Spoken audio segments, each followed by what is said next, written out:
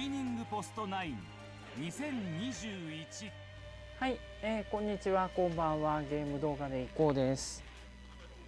ウイニングポスト92021、えー、ライブ配信始めていこうと思います。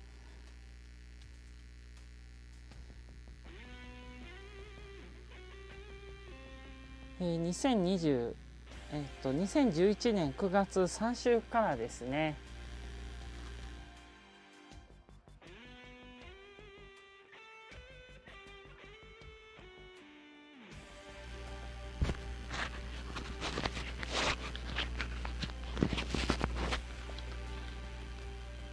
ぜひ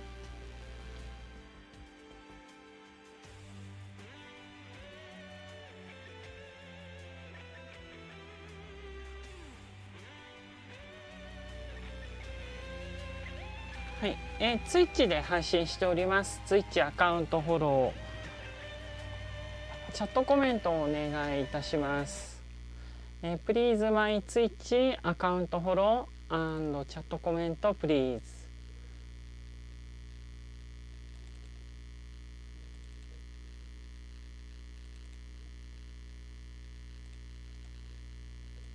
そして、えー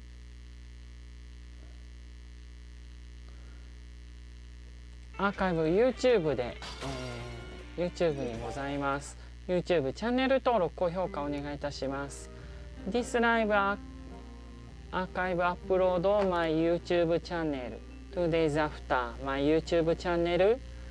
チャンネルサブスクライブドグッドボタン please そして旧ツイッターである X のアカウント持っております。アカウントのフォロー、リポスト、いいねお願いいたします。This Live Archive Upload My YouTube Channel Two Days After My YouTube チャンネル、チャンネルサブスクライブド and グッドボタン Please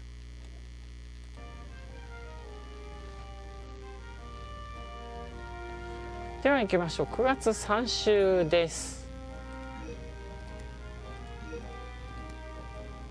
ゲド戦記ですね。挑みます。ゲド戦記。まあゲド戦記はもう金札取ってんのか。あとセントライトローローズステークスなどトライクラシック秋クラシックのトライアルが行われます。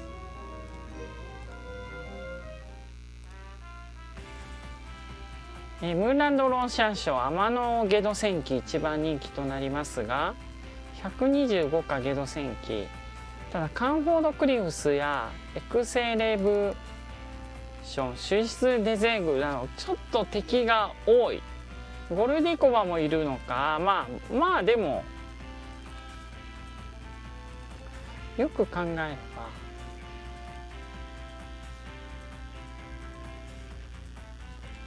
ダイジェストでいきましょう。パリロンシャン競馬場 G1 ムーランドロンシャン賞芝 1600m です。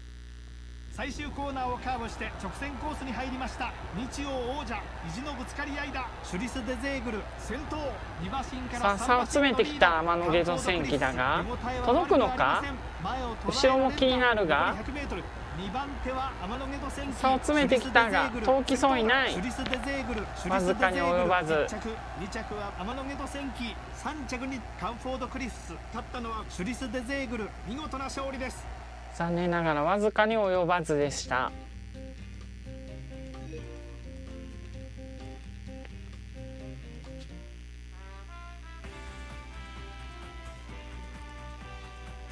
アイルランドセントレジャー天野ニコニコです。一番人気です107がカウントオンベリー。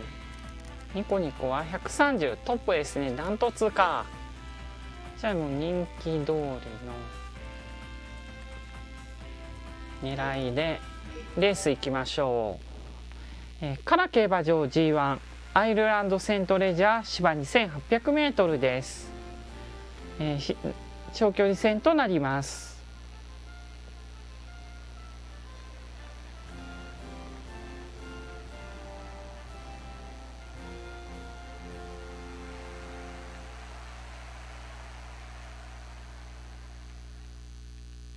こちらアイルランドのカラ競馬場から国際重賞競争をお伝えします。いよいよ発走です。スタートしました。ミーズナー好スタート。綺麗なスタートを切りました。ダッシュよく飛び出してミーズナーハナに立ちます。その後ろからはセイントプリーチ。この馬も上がっていく構えです。さらにはスワンクヤック古豪インペリアルジョン。その後ろセイントプリーチ。先手を取りました。アンファールドアグリー。それに続いています。パーラーウッドスタンド。すぐ後ろ。その後ろからはホームフェアリー。ピンクの帽子天野ニコニコいい位置につけました。ニコニコ好位つけましたね。ジョシュアツリー並んで3番スプニーリストレーション。カバルリーマンこの馬もこのグループ。イエローいいんじゃないでしょうか。それに続きます。これに続いてサマースティング青の帽子イタリアンアルキメデスその後ろすぐ後ろにスモークシェーバーしんがりからカウントオンベリー。各馬がターフの上を駆け抜けていきます。前の方からもう一度12番スワンクヤックレースを引っ張ります。その隣にセイントプリーチ好位置をキープしています。天野ニコニコ間が空いてカバルリーマン内からはアンファールドグリーその外にジョシュアツリーその後ろにパーラーウッドスタンド先頭から最高峰までおよそ10馬身よどみのない展開になりました。並んで後方にいる。7番ミーズナーその横にインペリアルジョンどこにいるんだ？その外からホームフェアリーその後ろにスプーニーニコニコは。並んで10番見えない。ブライアンイタリアンアルキメデスそれに続いています。並んであー3番手ですね。6先団にいまスモーすクシェーバーそのうちに続いています。最高峰にカウントオンベリー。もう一度先頭に戻りましょう。12番スワンクヤック。依然として先頭。並んで2番セイントプリーチ。好位置をキープしています。さあ直線に入ってきた。コーナーをカーブして直線コースに入りました。こっからです。依然としてスワンクヤック。2番手はセイントプリーチ。カバルリーマン。3番手先頭に躍り出ましたね。残り400長い直線。ここからどうか。日曜王者。意地のぶつかり合いだ外から来ているが残り200メートル先頭はあでもさつまらない押し切るか。押し切りそう。勝ちました。天野ニコニコ1着天野ニコニコ完勝。2着はカバルリーマン。世界の強豪を相手に見事な勝利を収めました。天野ニコニコまさしく日本が世界に誇れる馬です。G12 連勝となりましたが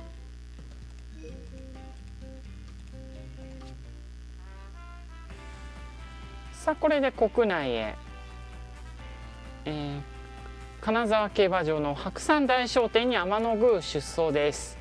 一番人気ポルトブリッツとかフォーティファイド凱旋ゲリラーメが出てきますね。ダイジェストいきましょう。金沢競馬場 JPN3 白山大賞典。ダート 2100m です。さあ直線に入りました。ここの直線は短い。凱旋ゲリラーメ先頭。しかし後続との差が縮まってきました。このまま先頭に躍り出た。天の宮かわす。天の宮勝ちました2着は凱旋ゲリラーメ3着にフォーティファイド。勝ったのは天の宮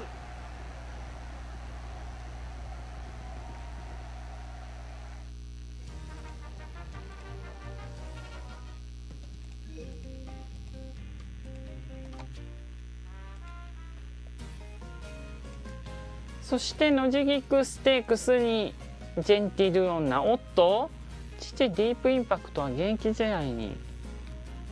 あれそうだっけ？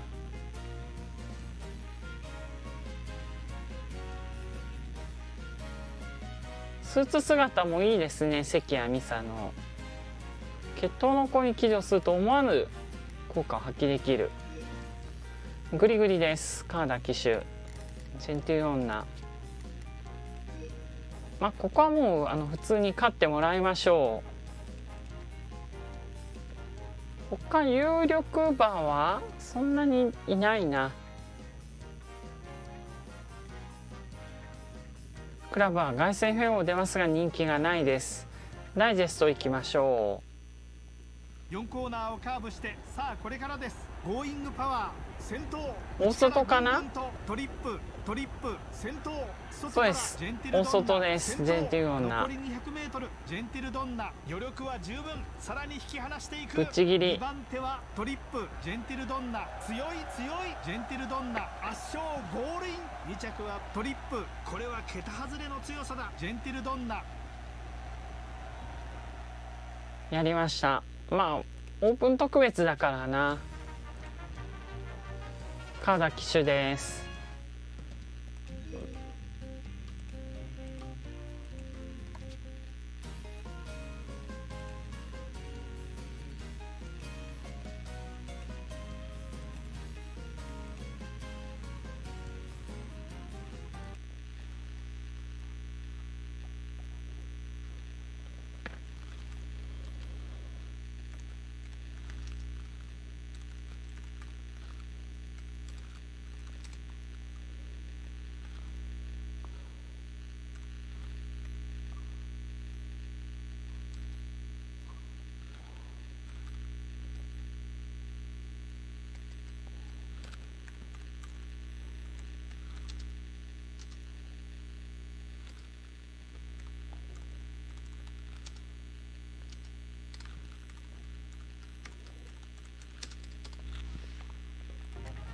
ローズステークスはオークスじゃない秋華賞トライアルです。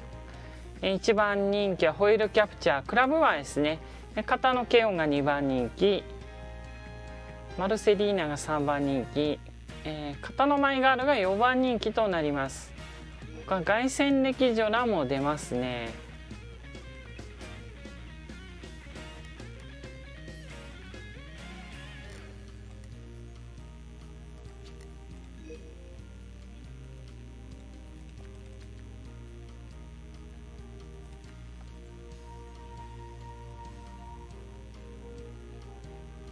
フェイルキャプチャーも怖い、えー、軽音が2番人気で、うんまあ、このままいきましょう。ダイジェストです。阪神 G2 関西関西テレビ放送賞ローズステークス。3歳牝馬限定芝 1800m 秋華賞トライアルをレースです。4コーナーをカーブしてさあこれからです。片の舞ガール先頭前に迫るマルセリーナ片の舞ガール先頭外から勢いよく片のケイオン先頭、ね、残り 200m を通過して2番手はホエールキャプチャー片のケイオン先頭片のケイオン勝ちました。2着はホエールキャプチャー片のケイオン見事トライアルを勝利本番に向けて夢が広がります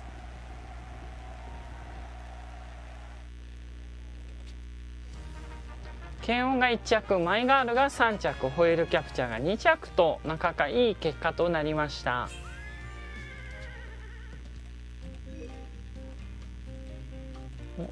とスピードがトップクラス A とか B かな。マイガールは3着。まあ出るやろうけどな。一応デフォルトオフということで。3頭だけですね。日テレ杯とオールカマーのみ。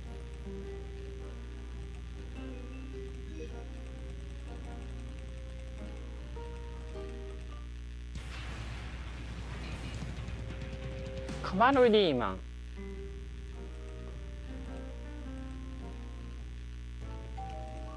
稲井さんです。稲井先生が。えー、っとこれでいくか。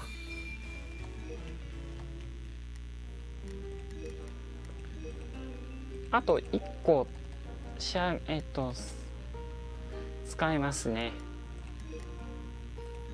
ではローテいきましょう。まず AKB がど調子はどうでしょう？悪くない。でヘビロテがリンド賞えー、女子この辺がデビュー。海猿もデビューが近い。ジェンティルの名が放牧する。勝って放牧っていう感じですね。でもまだ重賞取ってないんで早いこと重賞取らせるしかないです。川田騎手にちょっと主戦を。変えましょうあ一応これ主戦の変更って放牧中もできるんだ。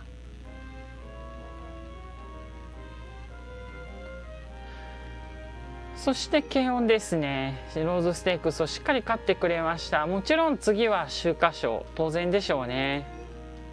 パワーがちょっと低いな。坂のコースがどうなのか。まあ、京都の平坦なコースの方がこの馬合ってるかもしれないですね。軽音は。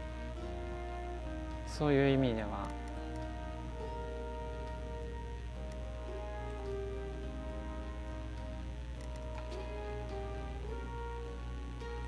で山がある。山がある。ふふ出れるけどな秋華賞。どうかな。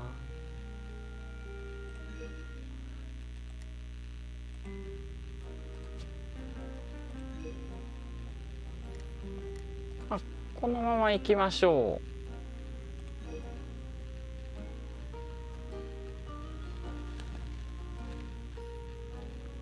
かね山があるって何勝なんだ。まだ1勝か。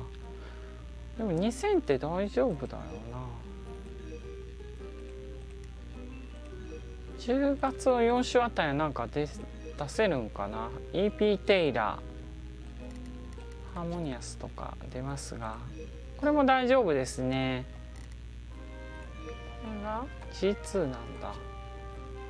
あとここも出そうと思ったら出せます。レイク。こっちの方がメンバー硬い。出してみますか。でもジョッキーは C 機種のまま。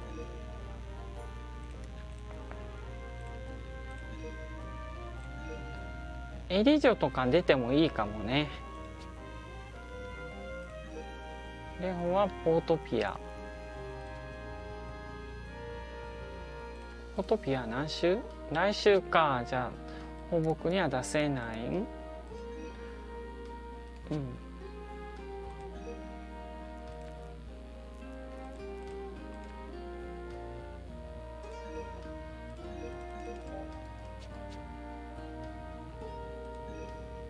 マイガールは3着なんでどうでしょうね。厳しいですね。受賞は取ってないんで取る方向で固めていかないとダメです。そうなるとちょっと次のレースできれば10月4週あたりを距離がわからんなって気する。1008とかかな。でもマイル戦の方が合いそうなんですよね。なんでマイルを主体にしましょう。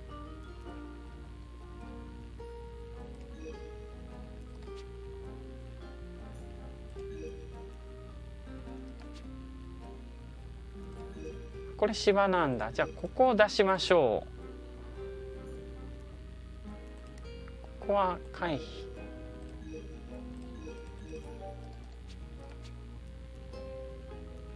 でオルフェーブルが凱旋門賞へ挑んでいきます。フランケルは、えー、何勝5勝か早めなんでちょっとあの頑張っていきたいとこですね。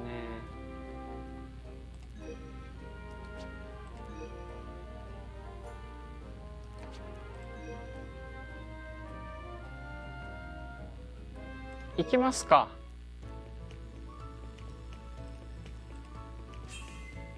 パワーが S プラスになりました。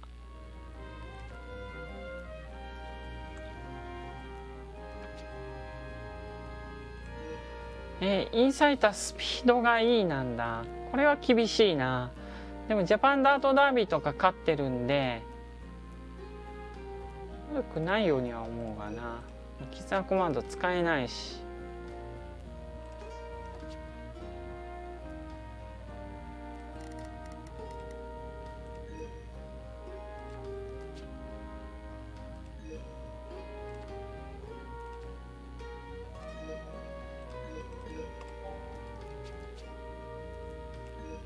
カレンちゃん。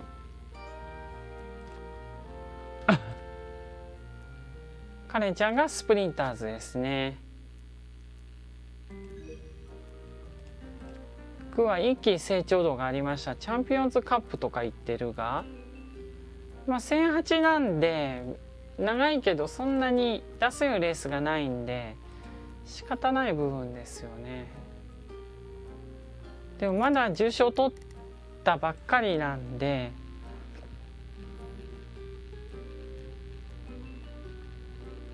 グー圧勝だっけなギリラーメラ相手に。いやそんなに圧勝じゃなかったからまだ。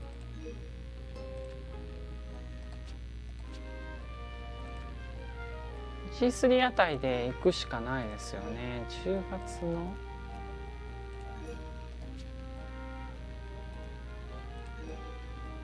この辺？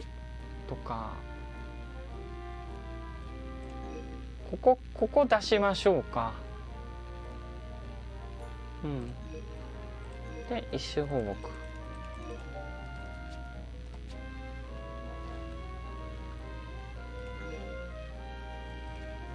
ルーラーシップがあもう達成してるんだ。送り人は12勝強いです。でブルーレイがブルーレイあと2勝か。勝ってほしいが。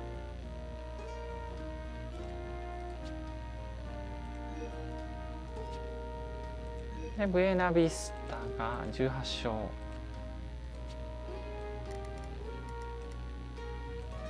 まあ、ブラックキャビアを G エベレストに出るんだ。まあこれら両方ともあの達成してるんで対決してもいいですよね。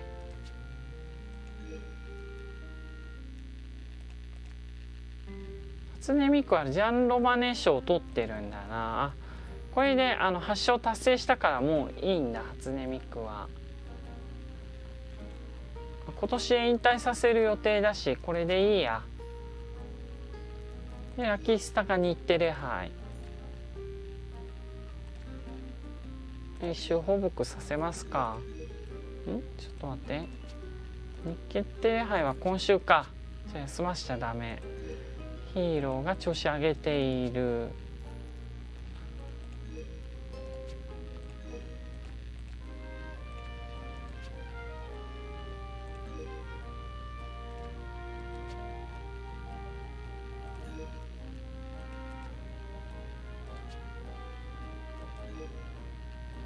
ナバワは11勝です。京都大商店に出ます。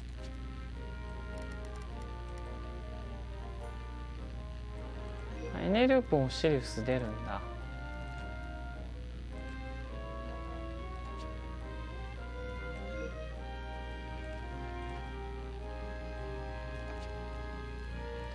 キャンキャンがレディースプレリュード。ゲド戦記が天皇賞秋。距離は微妙に長いけどね。どうするかな。天皇賞秋出てる馬はゲド戦記のみ。まあいいかな。でもまあまあいいか。一周放牧です。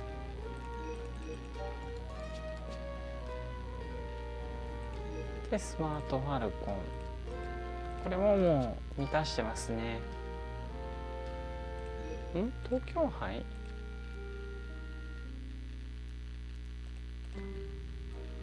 ああ報告してるんだ。じゃあ大丈夫。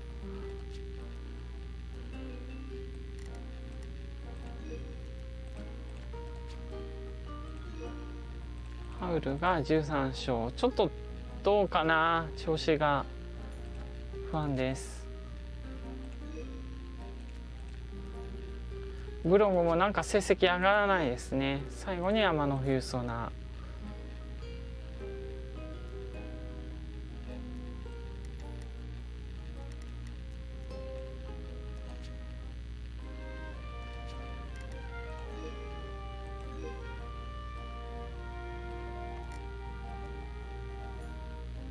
あ天野屋バンバがいる。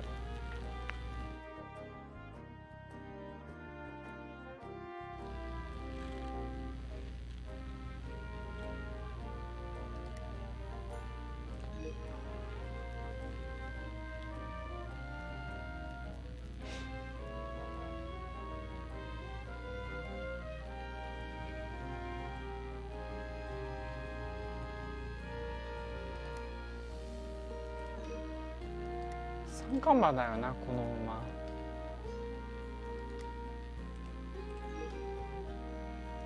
当選ジョーダンオーケンブルース・リー。いないな。セントライトはなるほどね。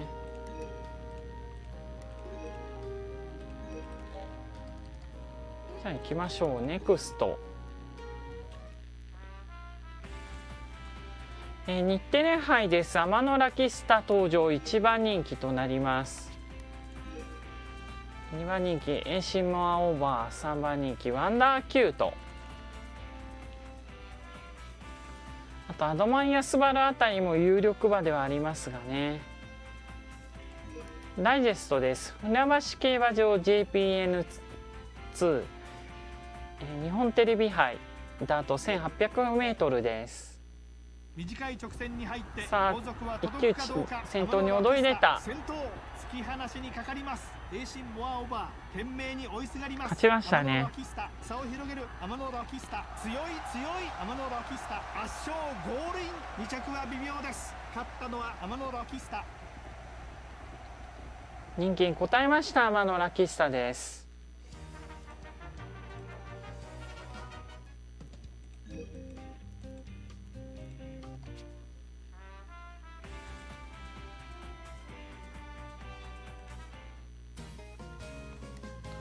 そしてカンナステークス北高たる前だが人気がない。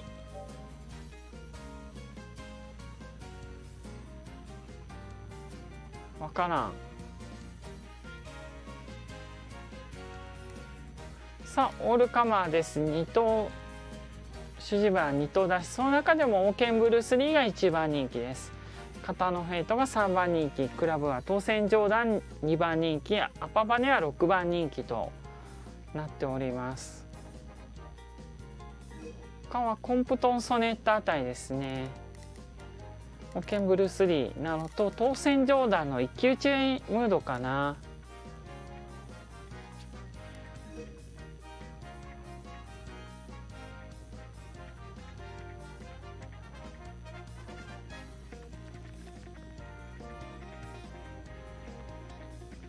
さあ型のフィーター先方変えられます。先行策いってみますか。ダイジェストいきましょう。中山 G2 三景賞オールカマー。芝 2200m です。4コーナーカーブから直線コースに向きました。コンプトンソネット先頭。残り 200m さあ内から伸びてくるが当選上段当選上段だ。当選上段差し切った当選上段当選上段1着2着にはどうやらブルースリーはわずかに及ばず当選上段オーケンブルースリーわずかの差で勝利を逃しました。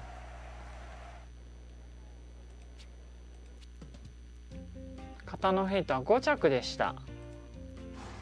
ロース。特に何も言われなかったですね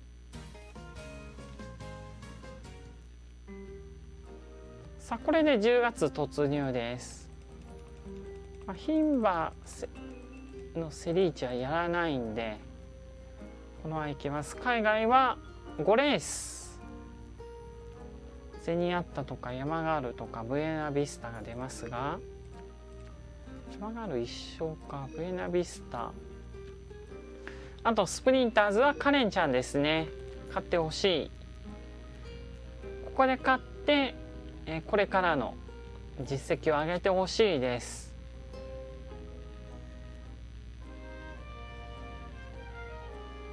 スマートファルコンの東京杯も要注目かな。さあスプリンターズステークス展望。電撃戦を目撃せよ。可憐な電撃おおあカレンちゃん一強ですね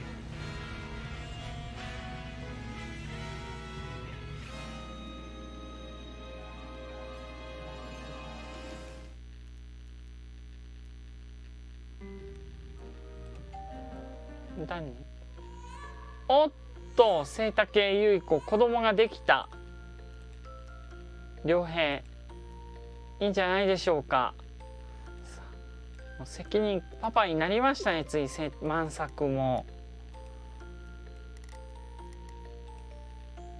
エニフが？3人。若穂は頻繁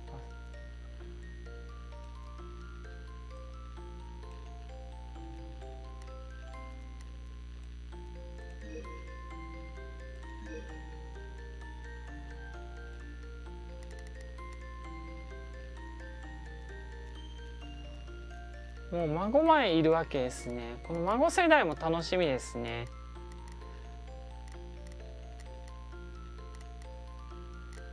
3人とも結婚して孫がいずれも生まれました。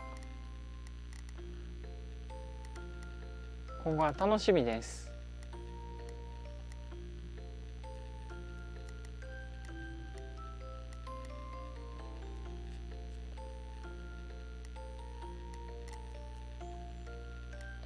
まあまだ健吾ですら中学2年生ですかね孫は。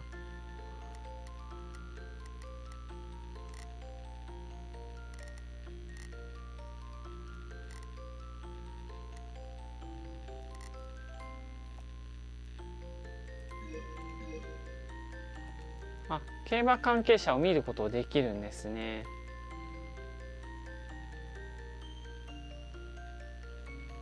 なかなか苦労してるみたいですねゆい子は。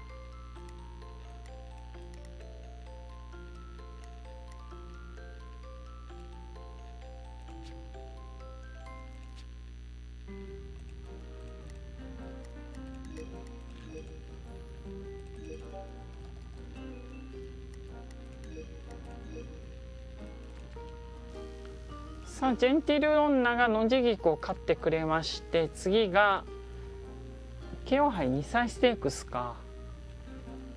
だともまあ無理じゃないとは思うけどな。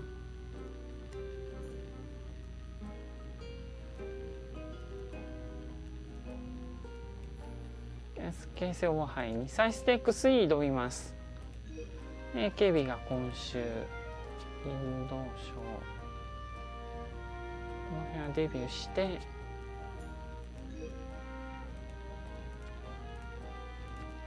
毛はもう秋華賞に出る。マガルは悪くない。レフは今週フィッツが新潟牝馬ステークスで堅実に成績を上げてもらう。これもそうですね。マイガールも新越ステークス。そしてオルフェーブルが来週。凱旋門賞に挑みます。いや好成績上げてほしいな。絆コマンド使えないからな。フランケル。ルフェーブル誰乗んの竹豊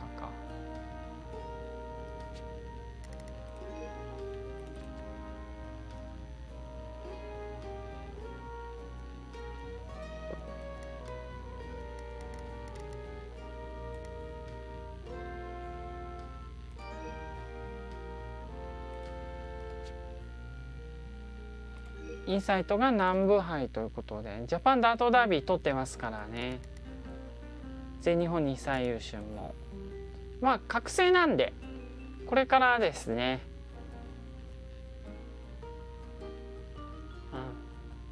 でそばにいるねが今4勝となっております。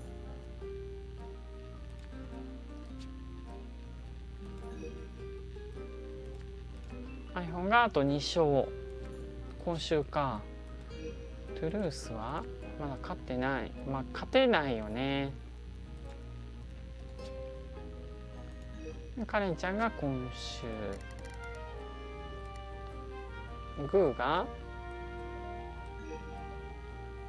グーどうするかって言ったらまあまだ無理でしょうからね。この海外でってなったら。スピードはでも A あるんだよな。距離適正の幅が短い。この馬は。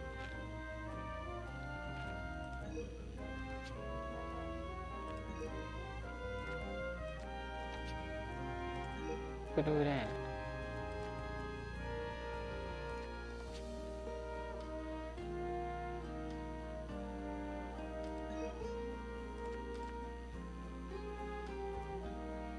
ン。アラフォーは一緒もしてないのか。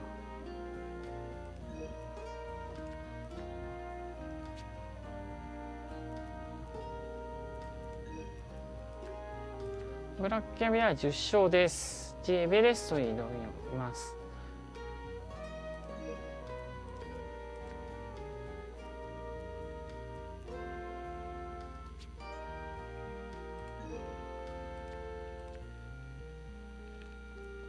坂にはもう厳しいですね。滝下は距離がちょっとこれ長いよなエリジョとなるとしかしかもどっちかといえばダートの方が合うんで厳しいんじゃないでしょうかだからといって海外ってわけにもいかないしな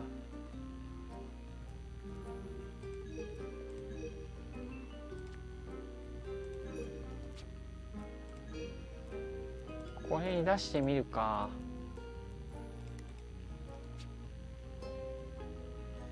こはやめとこう。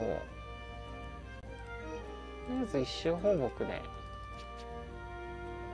で2個2個がメルボルン。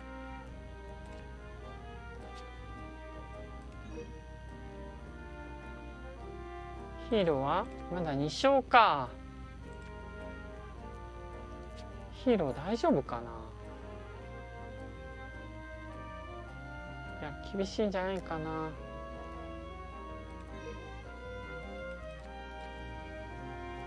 つぼみはちょっと力不足ですよね。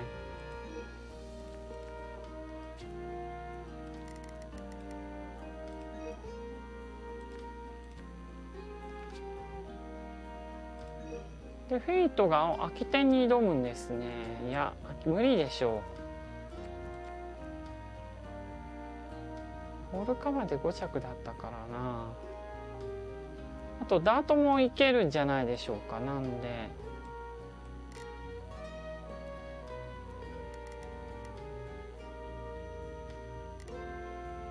わずかに及ばないんだよな。フェイトは。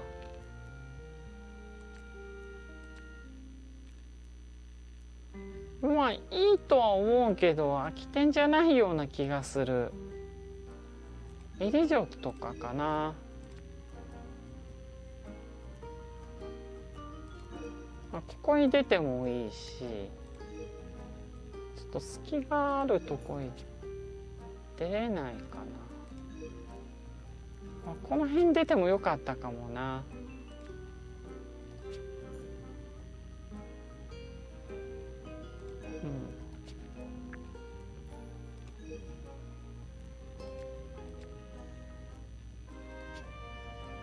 下道戦機が空き店距離が微妙だな。ここに出ていいのかな。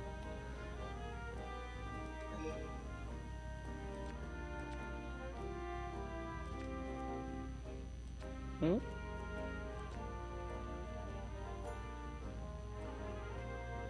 これって放牧分け？いやなわけないよな。だから。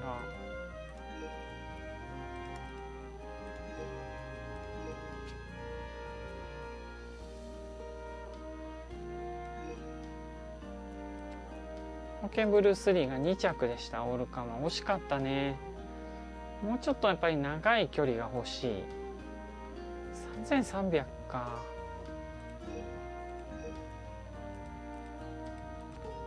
アルキョウとか。アルキョウですね。はい。えハンデ重くなるんだ。嘘でしょ？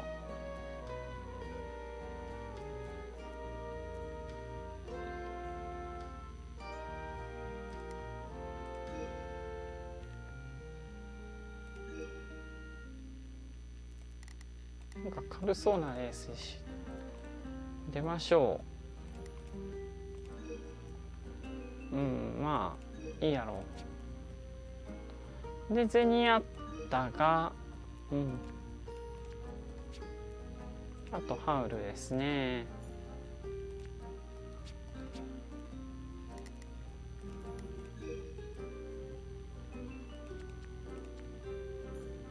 ハウル？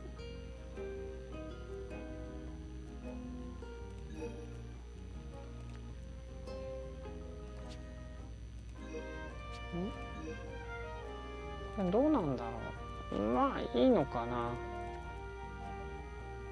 まあいいんじゃないでしょうか想定内。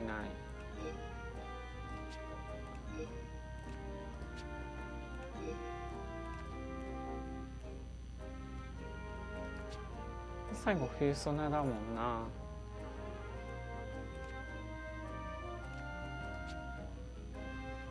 まあもはちょっと調子落としてるよ。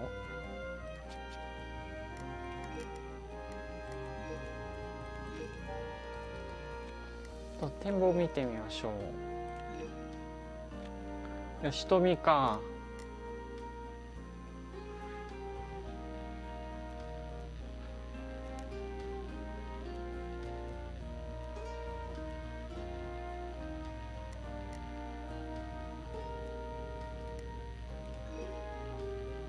次にあった最上位。スプリンターズはやっぱりカレンちゃんです。エネループ。当選上段。ヘルシャザールか。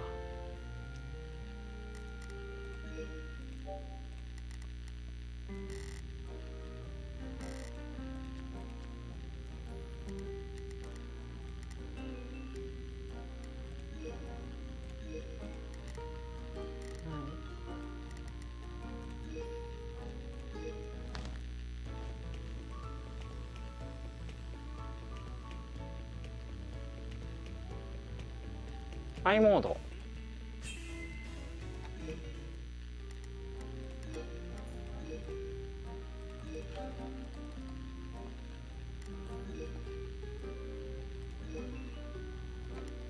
さあ楽しみです。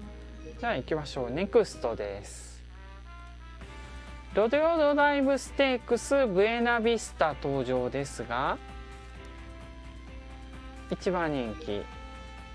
140ダントツですねまあ見るまでもないかなただザゴラはちょっと強いかもなあとモアフォーエバーあたりですねえー、ダイジェストいきましょうサンタニタ競馬場 G1 ロデオドライブステークス芝 2000m です最終コーナーをカーブして直線コースに入りました。残り 200m を通過して先頭です。日本と世界意地のぶつかり合いだ球を一気にちぎります。2番手はドバウィーハイツ。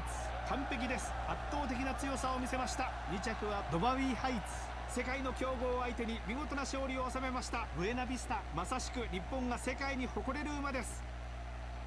さらに冠を積み重ねていきましたブエナビスタ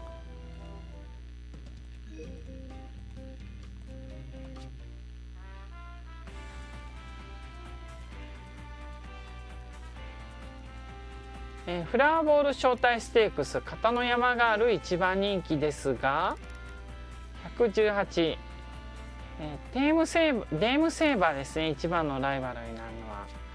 えー100代後半の馬も要注意です。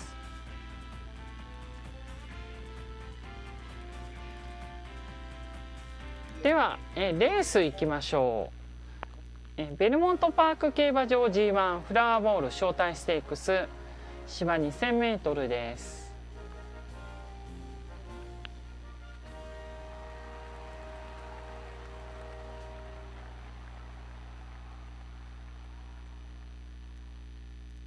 こちらアメリカのベルモントパーク競馬場から国際重賞競争をお伝えします。いよいよ発走です。スタートしました。ビハインドザドローン。これはいいスタートを切りました。綺麗なスタートを切りました。ダッシュよくビハインドザドローン。行きました。続いて前へ行くのはカンタドスプリング。さらにはアプライドガントレッド。栗色の馬体。ランドリアスペシャリスト。その後ろ。後方ですね。ビハインドザドローン。すぐ後ろにグラブドネスサキン。チャイムカンプ。すぐ後ろ。キャロットバーディクト。そのうちに続いています。この辺りで12コーナーの中間点を通過。メロディオルガニップその前に進出。すぐ後ろにデイムセイバー。内からはステータスワンド。その隣にイースターストレンティア。片野山結構小回りがこの位置です小回りなんだなベルモントパークの中では各馬鮮やかな芝生の上をかけていきます。もう一度先頭に戻りましょう。11番ビハインドザドローン。依然として先頭。リードは1馬身から2頑張って馬身。アプライドガントレッド。それに続いています。この辺りで各馬第3コーナーのカーブに入ります。先頭は依然としてビハインドザドローン。2番手はアプライドガントレッド。間を挟んでチャイムカンプ。3番手片野山ガールこの位置から届くのか。ちょっと後あの外を回されるような強引に外をまくっていきますがさあ届くのか？あでも脚色がもうすごい圧倒的。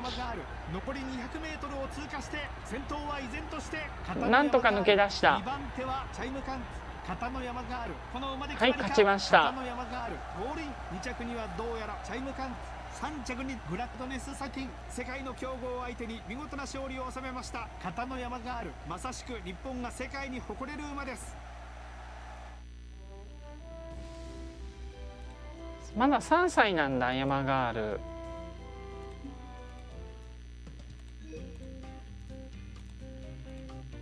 大外大まくりへを決めました。しかも海外遠征です。さあジョッキークラブゴールドカップゼニアッタですが一番人気ですね。こんなの131あれ？ゼニアッタ104しかない。ゲームオンデュードだ。ちょっとやばいな。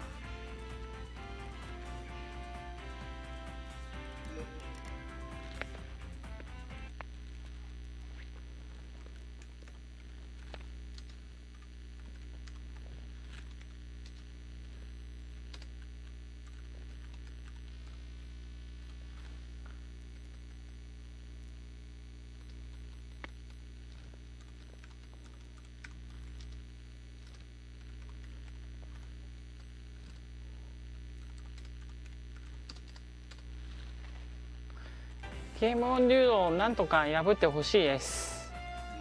レース行きましょう、えー、ベルモントパーク競馬場 G1 ジョッキークラブゴールドカップ。ダート 2000m です。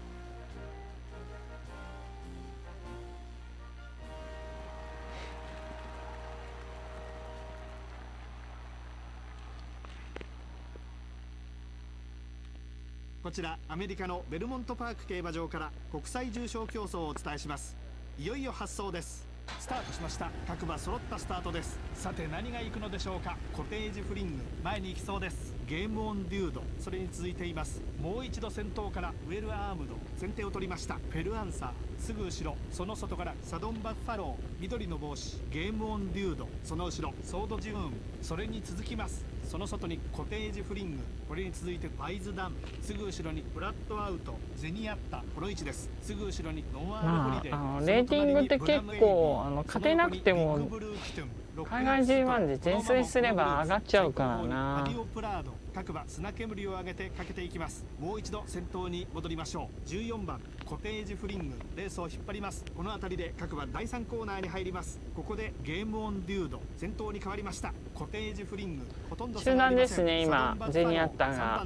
ゼニアッタ。いい位置です。先頭を捉えにかかります。この辺りでか。後位かな？さあ先頭はコテージフリング。さあこっからの伸びはどうだ？ゼニアッタ3番手先頭を伺う先頭に躍り出てゲームオンデュードと一騎打ち。ちょっとあの首を出したかゼニアッタ。あ勝った勝ったな。やりました。ワイズダン。か。ゲームオンデュード。世界の強豪相手に見事な勝利を収めました。ゼニアッタ。まさしく日本が世界に誇れる馬です。ワイズダンゲームオンデュードを破りました。これは大きい。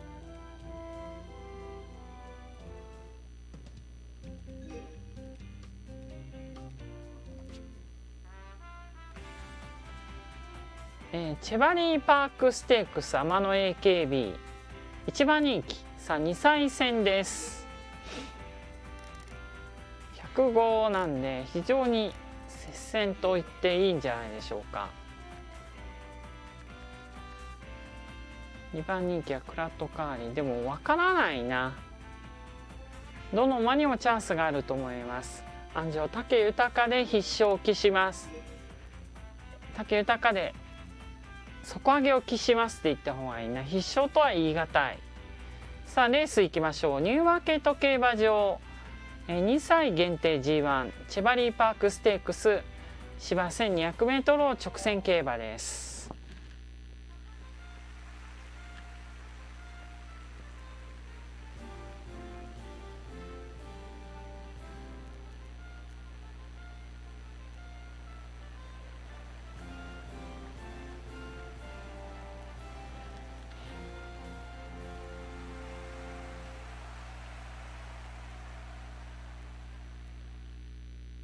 こちらイギリスのニューマーケット競馬場から国際重賞競走をお伝えします。いよいよ発走です。スタートしました。各馬綺麗なスタートです。さあ果たして何が行くでしょうか。ディアズシタルーラ前に行きそうです。ジェストパボニアそれに続いています。さらにはストライキングゼイラー無敗のコントライトコンダー。その後ろディアズシタルーラ先手を取りました。2番手に16番天野 AKB 内からはサーティーレッド黄色の帽子。プライマルタイム。その後ろサニーモンズーン。そのうちに続いています。さあ先頭はまだ13番ディアズシタルーラまだ粘っています。AKB が先頭に躍り出た。さあ横に広がる。あでも中から突っ込まれている。ブラッドカーリーに。3着ぐらいかな AKB そうですね。まだちょっと届かないか。勝ったのはグラッドカーリー見事な勝利です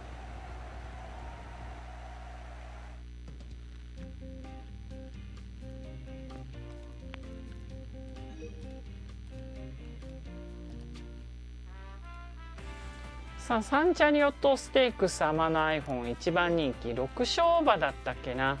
ゴルディコバがいます。これは強い。134と抜けてはいるんですがやっぱゴルディコバは強い。あの怖いです。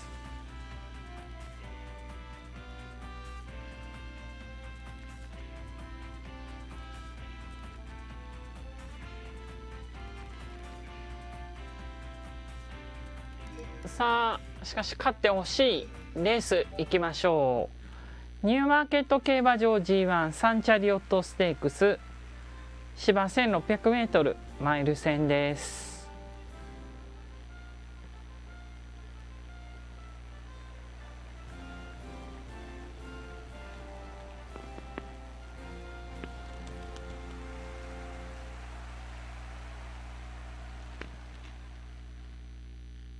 ちらイギリスのニューマーケット競馬場から国際重賞競争をお伝えします。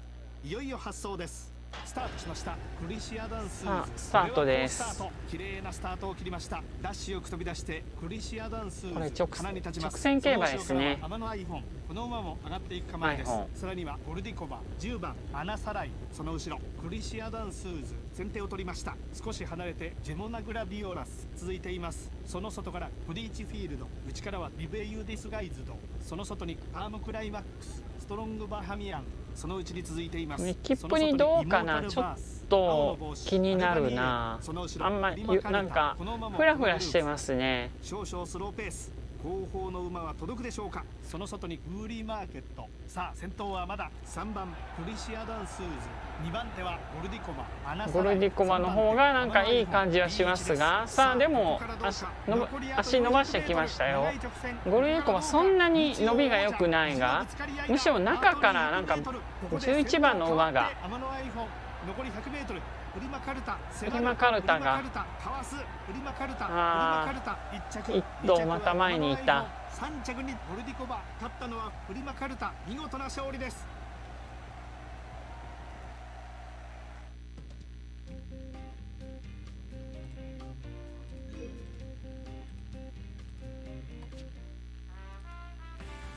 さあ東京杯にスマートファルコン登場一番人気となりますセレスハントミリオンディスクが流れますね。えこれダイジェストいきましょう。大井競馬場 JPN2 東京。杯ダート 1200m 電撃戦です。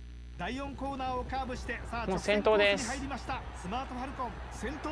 差が広がる広がる。あと 200m あもうぶっちぎりですね残り 100m2 番手はセレスハント。スマートファルコン。ぶっちぎり。スマートファルコン。独走。スマートファルコン。ぶっちぎりです。2着はセレスハント。3着にミリオンディスク。これが G1 馬だスマートファルコン。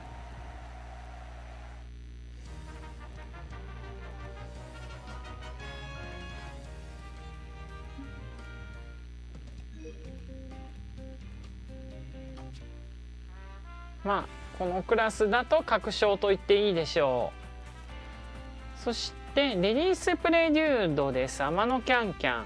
一番人気。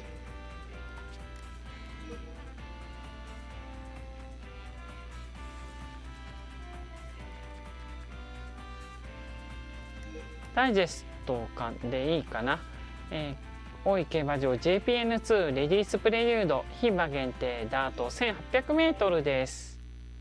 さあ先頭に躍り出た天野キャンキャン。先頭リードは3いいですね。その差が広がります。残り200メートル。あもうぶっちぎりだ。完全にちぎれた。後方から一気にクイズランです。天野キャンキャン先頭だ。強い。です。圧倒的な強さを見せました。2着はクイズランです。3着にエルガンドリア。これが G1 馬だ。天野キャンキャン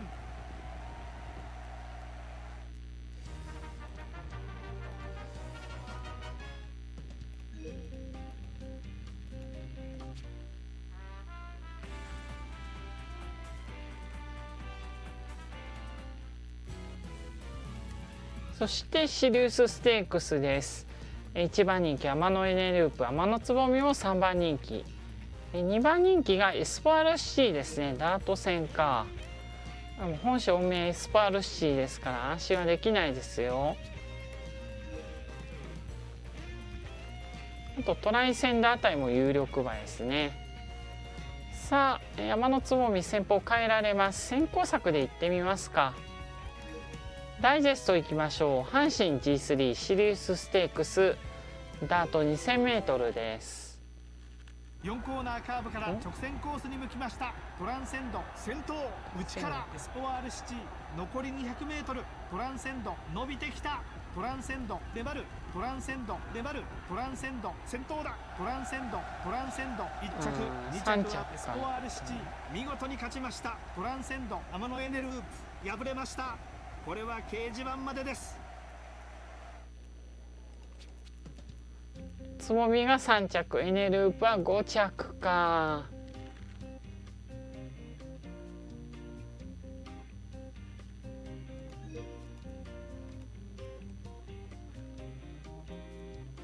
つぼみは絆深まります。こう横乗り。さあ、えー、なあ中山なんだスプリンターズステークスって。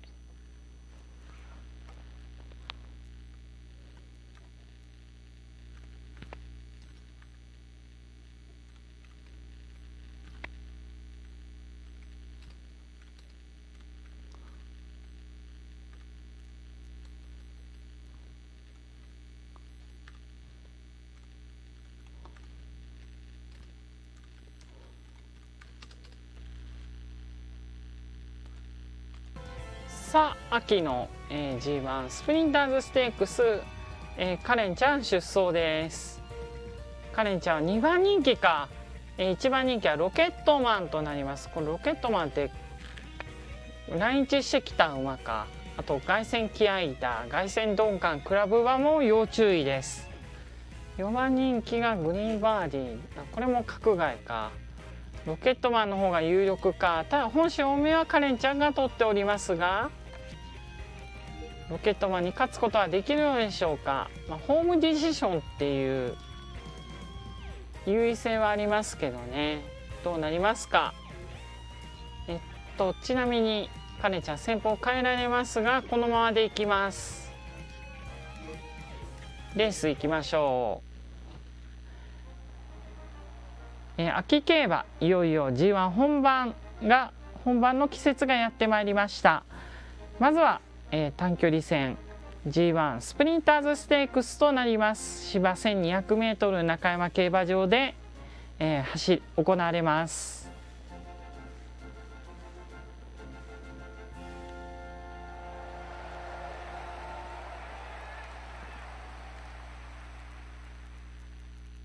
最速の名をかけてスプリンターたちがここ中山競馬場に集結しました。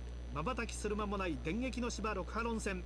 さあ G1 スプリンターズステークスの発走です。さあ最後は大外枠のラッキーナイン。ゲートに入って体勢が整いました。スタートしました。好スタートを決めたのはカレンちゃん。いやーいいスタートだったんだカレンちゃん。カレンちゃん。行きました。続いて前へ行くのはパドトロワ。さらにはシルポート。14これがどうなるか。その後ろ。カレンチャン。先手を取りました。これに続くのがロケットマン。すぐ後ろにガルボ。並んで10番アドマイヤエイブルスプリングソングすぐ後ろその後ろにグランプリボス。その外カレンチャン3番手につけました。先頭が変わりました。シルポート。まださあ先頭に躍り出たカレンちゃん。ほとんど差がありません。G12 勝。ロケットマン。まだ後ろ。鞍上のゴーサインはまだでしょうか。日曜王者の争いだ。さあ先頭だ。カレンちゃん。残り 200m を通過してどうだ？後方から誰ももう来れない。2番手は強い。カレンちゃん。やりましたカレンちゃん。違いの強さです。2着はロケットマン。これが世界を制した実力だ。カレンちゃん。ロケットマンらを破ってカレンちゃん。スプリンターズステークス制覇。ウィニングランです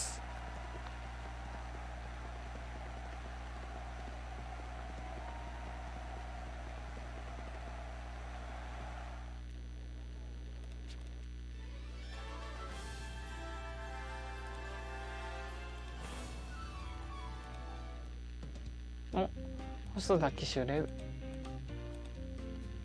キザレベルアップです。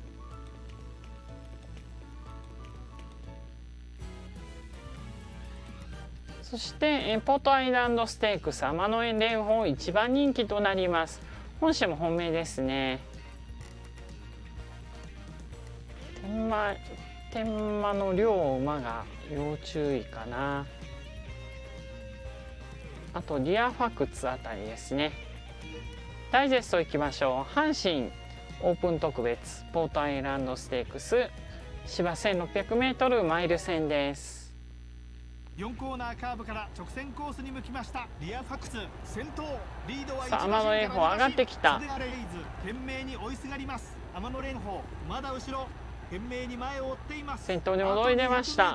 束を一気にちきります2番手は王権桜天野蓮舫勝ちました。2着は王権桜3着に天満イーブン1番人気に応えました天野蓮舫見事です。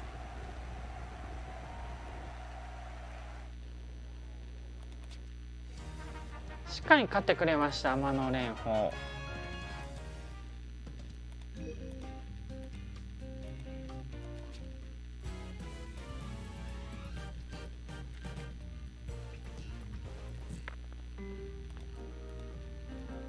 ロードからのはアパパね。凱旋ってクラブ馬じゃん。さあ海外は2レースです。そうです。凱旋猛将オルフェーブルがいよいよ挑みます。他ですね南部杯2頭出しですね。冬ソナと片のインサイト。毎日岡京都大商店も要注目。そして山の女子会がデビューですか。父ソング・オブ・ウィンド母シーキング・ザ・パール。コマントは特質べあんまりと強いとは言ってないな。によってパワーと柔軟性がそんなにないのか短距離馬だな完全な。芝だと両対応なんで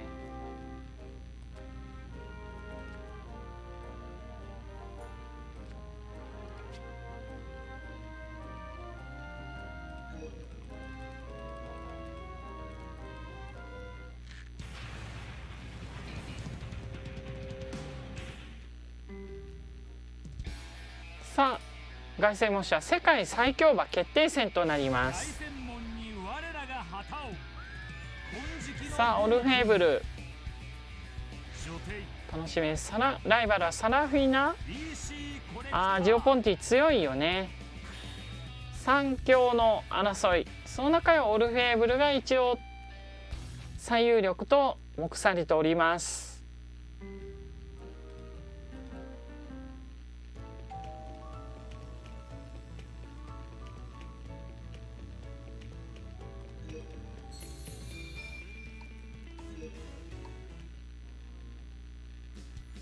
お？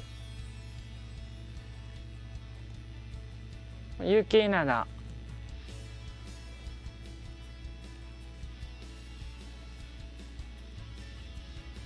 ダジサマンそうですねアジアシゲちゃんですね。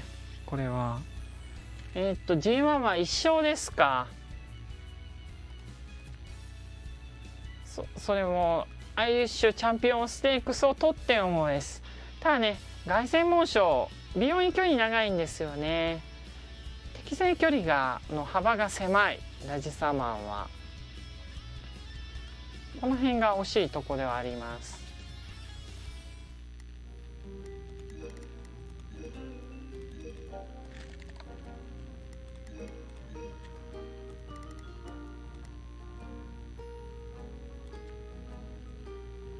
オーケンブルースリーカナディアン国際だけど。まあでも武豊じゃなくてもいいからな、どっちがいいかって言ったらフランケルの方を優先すべきだから。んカナダ英国だからそうだな。じゃあオーケンブルースリー。えっと主戦って武豊なの？豊以外だった福永 C あたりか。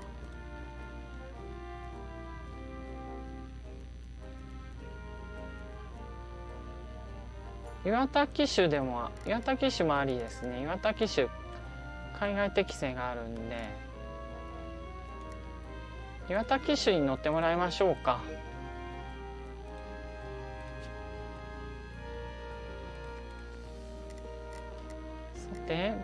まずブエナビスタはフィリーメアターフか。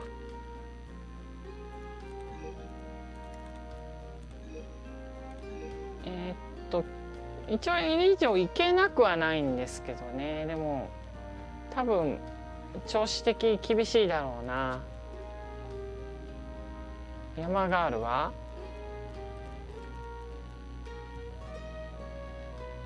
山ガールがこれで2勝目か。楽しみです。ねクイーンエリザベス2世チャンピオンステークスだっけ？ゼニアった最終年だっけ？これ、まあ、引退資産は上がってないんですけど引退牝馬やしね。早めに引退させたいとこですよね。AKB は3着。もう一回立て直しかな？それともあ距離短かったんだ。なるほどね。だからか。10月4週。病院距離な。短かったんだ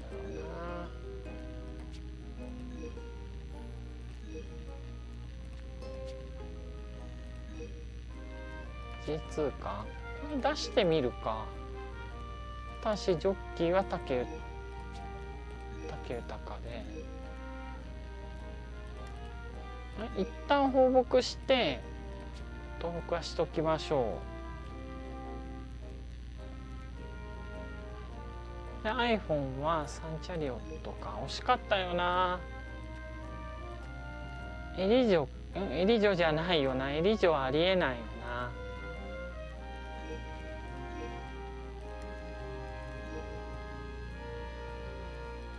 2000だったらいいんだけどな、まあ、マイル戦だよな。この辺のマイル戦の中でメンバー軽いのって何があるんだろう。あモアフォーエバーとかか。これはどんな馬あでもそんなに強くないな。ここ出してみましょう。あ出せない。わ。武豊乗ってくれないのか。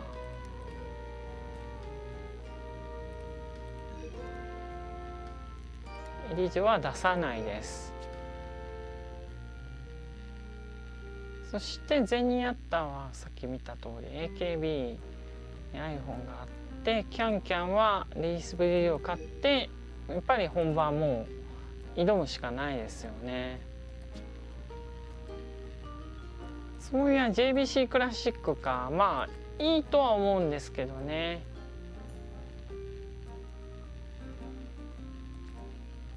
どうかな。出せるレースが結構限られるな。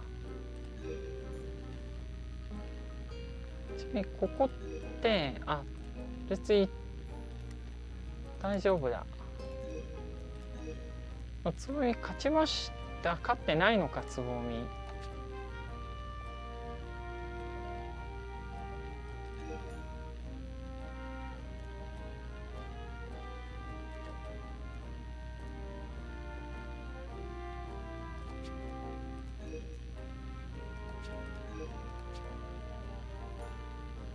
でカレンちゃんしっかり勝ってくれました。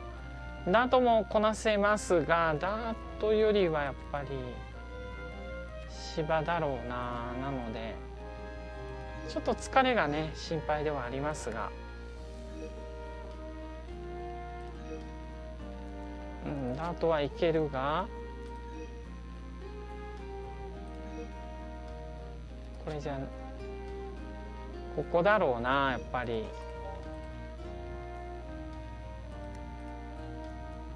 竹豊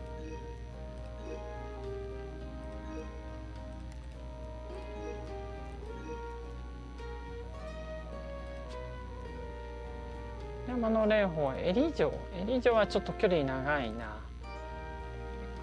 重まずは重賞制覇を目指しましょう。ちょっと疲れが溜まっているのは気になるとこです。スピードが C プラス勝負根性 G か。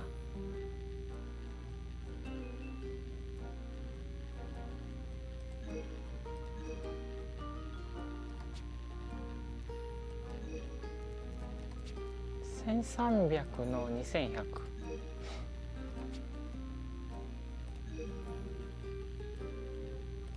ここに出しましょう。エリジョは出さない。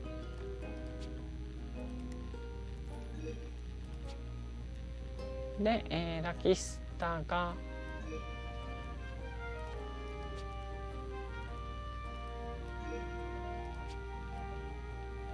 うん。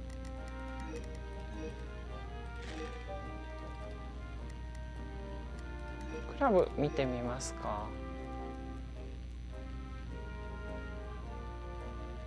なグルーマ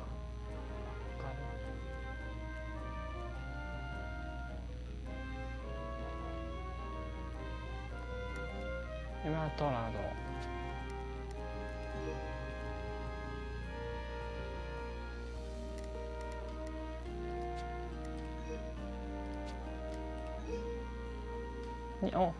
えー、3億強の差をつけましたね。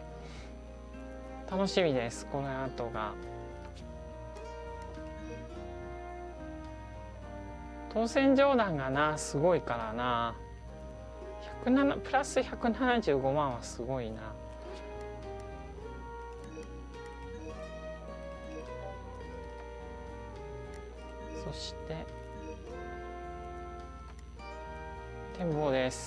フェーブル最有力ですね。133か。最上位じゃないですか。楽しみですね。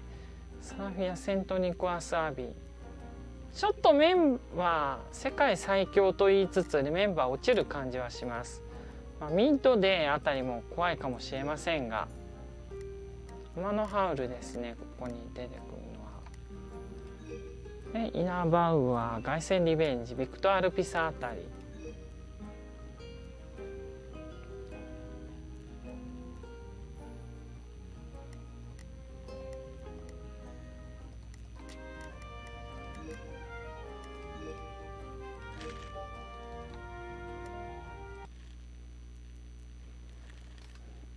さあ行きましょう。ネクスト。フォレショアマノフィーロ一番人気。燃えてヒーローということで120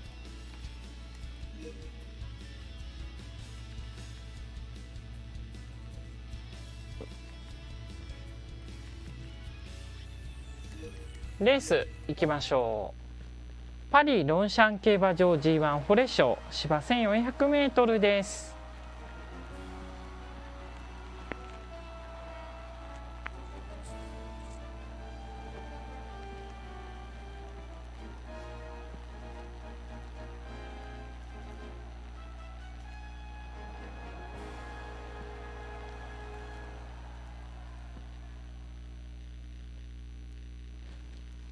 こちらフランスのパリ・ロンシャン競馬場から国際重賞競走をお伝えします。いよいよ発走です。スタートしました。各馬揃ったスタートです。まずは先行争い。何がハナに立つでしょうか。エレイン・ブース。前に行きそうです。カーネル・ブリンガー。それに続いています。先頭に戻りましょう。先頭は天野ヒーロー。単騎の逃げに持ち込めるでしょうか。並んで栗色の馬体。カーネル・ブリンガー。黄色の帽子。エレイン・ブース。その後ろウィンチャットリオン。そのうちに続いています。その外からラストレーションズ。その隣にサドン・アト・ザ・トップ。その外にニンブルラガー。ジョートンバ。すぐ後ろ並んで5番先頭に躍り出た？プレステズラッキー。最終コーナーをカーブして直線コースに入りました。さあ先頭はまだ14番。天野ヒーロー。天野ヒーロー後続を引き離す。2番手はニンブルラガー。追い出した天野ヒーロー。400m 長い直線。ここからどうか。日曜王者。意地のぶつかり合いだ。残り 200m を通過してさあ後方からはあでも差つまらいそうにないね。このまま押し切るか。勝ちますね。2番手はジョートンバ天野ヒーロー。やりました段違いの強さです。2着はドリームアヘッド。3着にジョートンバ。世界の強豪を相手に見事な勝利を収めました。天野ヒーロー。まさしく日本が世界に誇れる馬です。力強く逃げ切りました。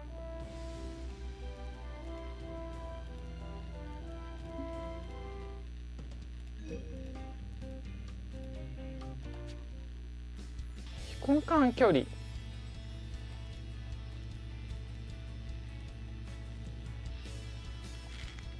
さあいよいよ凱旋門賞となります。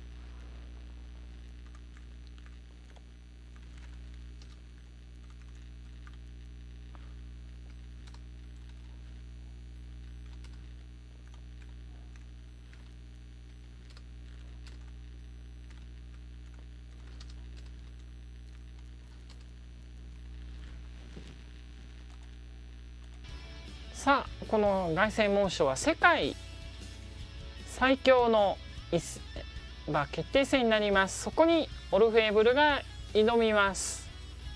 きた。一番人気です。えやっぱり130サラフィナが131とかみんな強いですね。ジオポンティが128とかライジさんだミッドでセント・ニコラス・アビーとか。本当にわからない。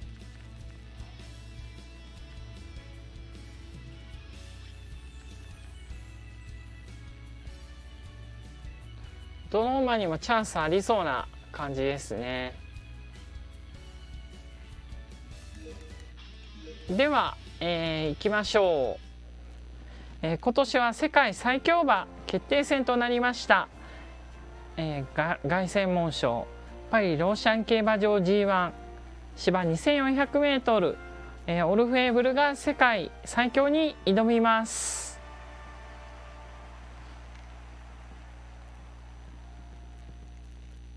世界の王道路線のトップホースがここフランスに集結しました。日本最強馬オルフェーブル。さらにはアメリカが誇るジオポンティ。それに続く歴戦の強豪たちが世界最強の座をかけて真っ向勝負。究極のチャンピオン決定戦。今スタートします。スタートしました。ミッドデイ。これはスタート。好スタート。ジオポンティ。この馬も好スタートどうでしょうオルフェーブルは。ダッシュよく飛び出してミッドデイ。花火そんなに良くなかったかなオルフェーブルは。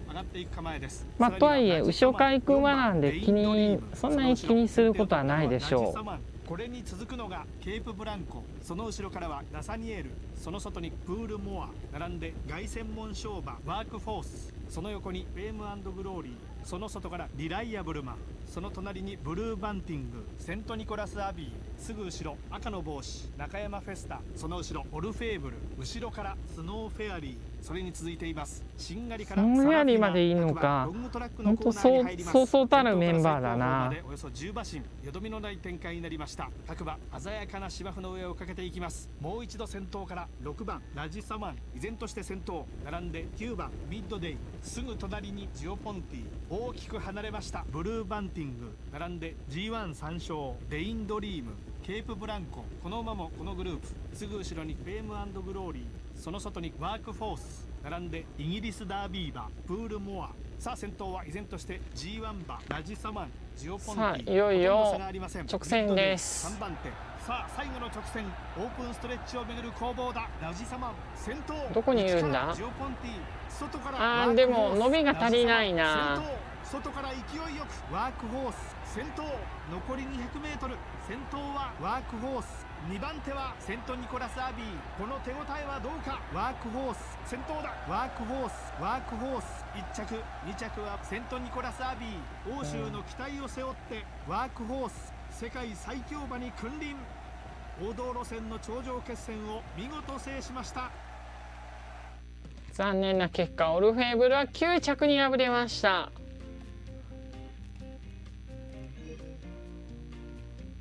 9着という結果で驚いています。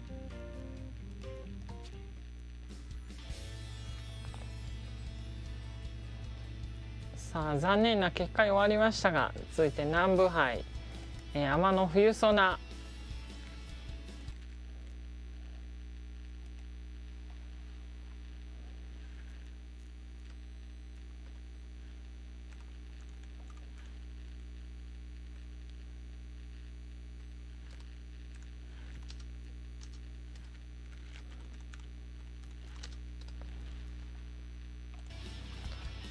冬ソナが1番人気型のインサイトが3番人気。2番人気フリオーソとなっております。この辺が有力かなとローマンレジェンドあたりでしょうね。さあ型のインサイト先方どうするか。差しで行ってみましょう。大えー、っとレース行きましょう。盛岡競馬場 JPN1 マイルチャンピオンシップナンバー杯ダート 1600m です。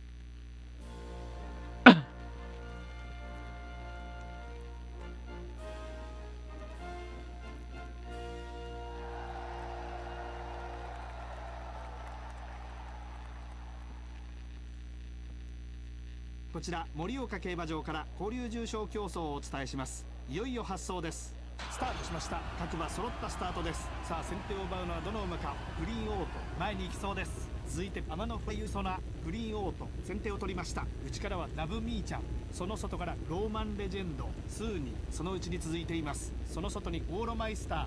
その隣にプリオーソ。型のインサイトこの位置です。大小ジェットすぐ後ろしんがりからレーザーバレット各馬砂煙を上げてかけていきます。もう一度先頭に戻りましょう。4番ラブミーちゃん。レースを引っ張ります。オレンジの帽子グリーンオートその後ろ。少し離れてローマンレジェンド続いています。さあ先頭はまだ。4番ラブミーちゃん。グリーンオートほとんど差がありません。間を挟んでローマンレジェンド。3番手 G12 勝。型のインサイトまだ後ろ。この位置から果たして内側上がってきてますね。追い上げていきます。さあ先頭はラブミーちゃん。さあいよいよ直線の攻防。さあ先頭に立ったのは天野冬ソナ冬ソナだ。2馬身から3馬身のリード。オーロマイスター。必死に冬ソナ引き離す。果たして縮まるか？天野冬ソナこの馬で決まりか？ぶっちぎりです。今ゴールイン。段違いの強さです。2着はオーロマイスター。やはり中央の馬が強かった。勝ったのは天野冬ソナ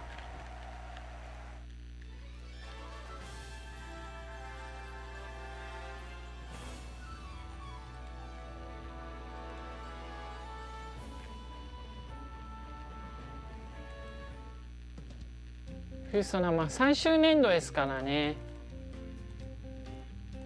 一番人気答えた。忙しいのかインサイト短いのはやっぱりダメか。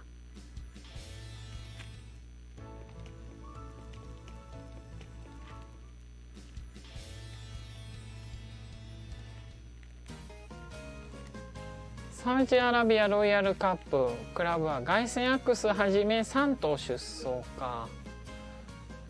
まあダイジェストいきますか。4コーナーをカーブしてさあこれからです。凱旋クオリティ。先頭外から凱旋アックス。先頭凱旋アックス来た。凱旋アックス。外からクラレント。アイオブアロー。まだ後ろ。懸命に前を追っています。あと 200m クラレント。抜けた。クラレント。先頭。クラレント。先頭だ。クラレント。クラレント。1着。2着は凱旋アックス3着にマウントシャスタ見事に勝ちました。クラレント。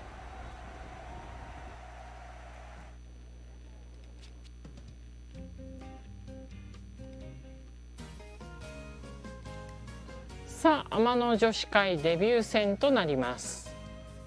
大気ネイル。天野女子会1.7倍ダントツ一番人気です。父ソンゴンブウィンド母シーキングザパールとなっております。えー減点が2番人気か。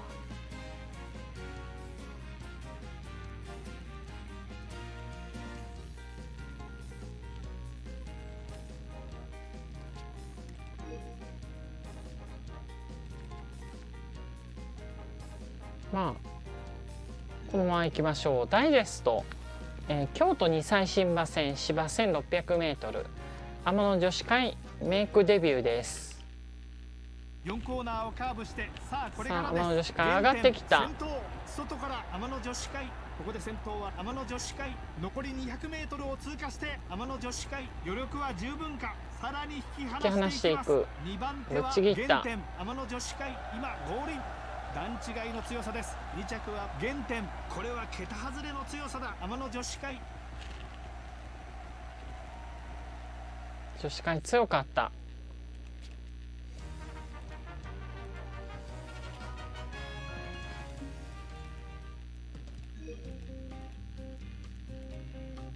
ん？取り越し苦労。頑固な性格か。引っかかる可能性があるってことですね。さあ林道賞天のヘビロテ一番人気。グリグリです。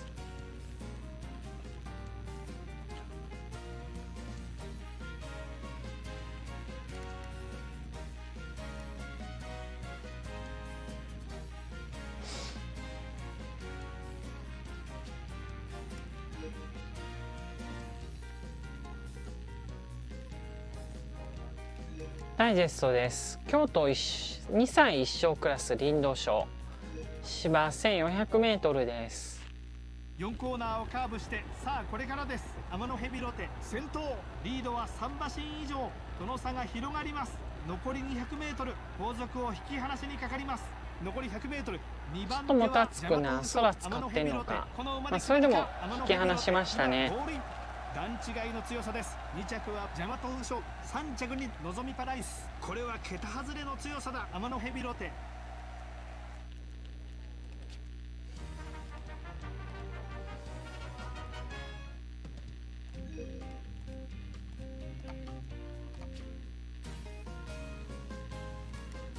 さあ毎日奉還です。天野ハウル1番人気。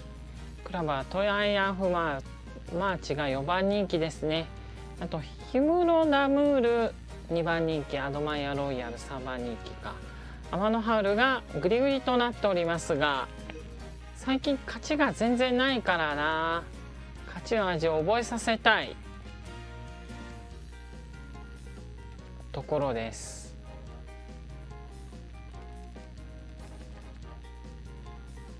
ダイジェストいきましょう。東京 G2 毎日王冠。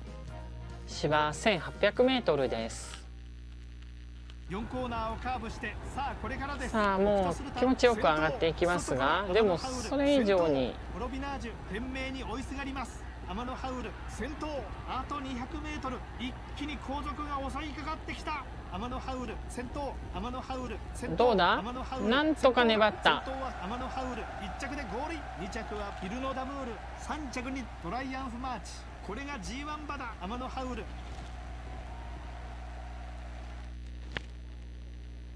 これであの今までのなんか勝てなかった最近の成績を跳ねのけられるでしょうかと言いたいとこですが、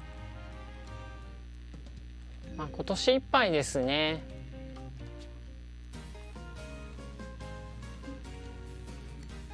さあ今日今度は京都大商店です。1番人気天野稲葉は天野ブログは3番人気2番人気クラブーバービクダールピサクラブは凱旋リベンジも5番人気となっております。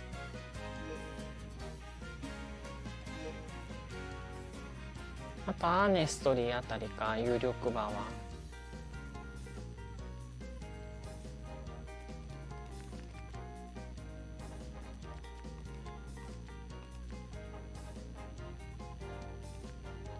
いやドリームジャーニーあたりも怖いですよやっぱりね。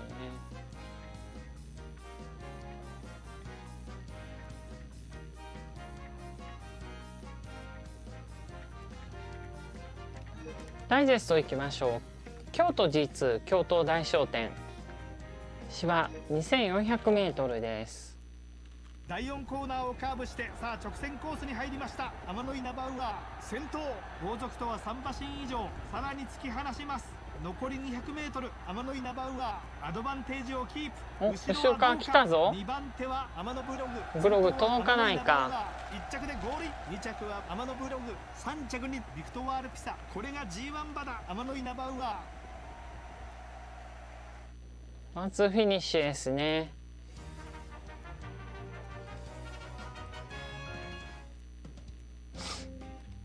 岩田騎手これで4キザレベル4になりました。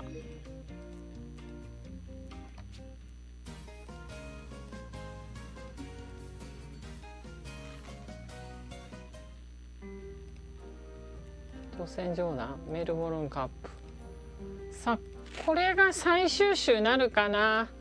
海外4レース。そして秋華賞に型の軽音挑みます。どんなメンツなんでしょうね。あホイールキャプチャーか。牝馬参加を阻止しなければなりませんがそうだ軽音ホイールキャプチャーに勝ってんだな本番では。ホイールキャプチャーでも2000はぴったりだからな。ちょっと辛いかもねホイールキャプチャー相手に。検討するのは。さあこのアヒンバ参加を許していいのでしょうか。いや良くないということで。あとゴールドシップアマノアリエッティがデビューというとこですね。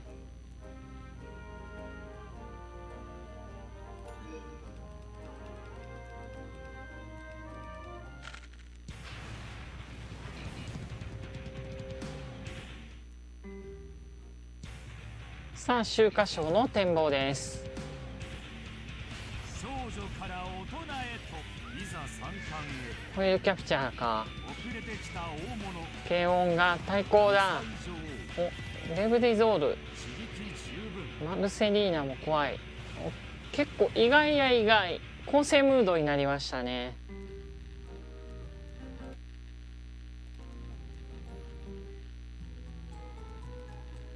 うーん。そうですかあ連覇なんですね。凱旋モーションワークフォースは。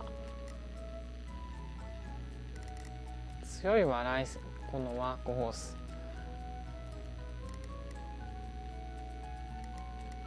欧州のレースだったら本当に強いんだな。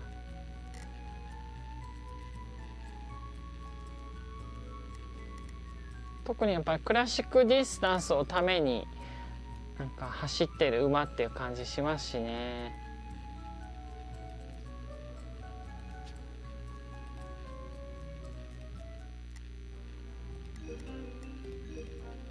オルフェーブルは残念な結果でした。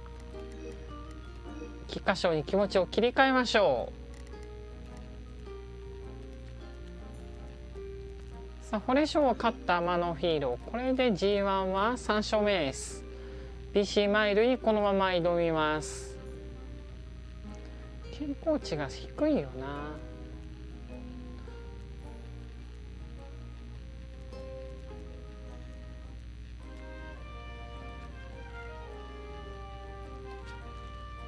そしてオルフェーブルですが菊花賞かな。も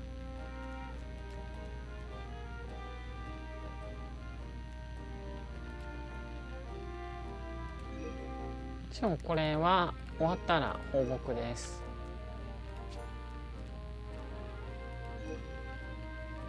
でさ調子いいな。あこれ覚醒あでも覚醒って言ってももうダメなんだな。これでもうさらウッドフォードアップルブラッサーまあユーソネに関してはもうあの金札取ってるから全然大丈夫ですね。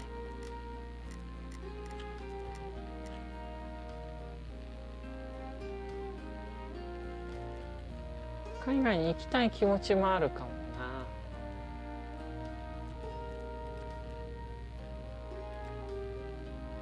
な。うんうん？ちょ疲れは？水面に疲れ溜まってるんで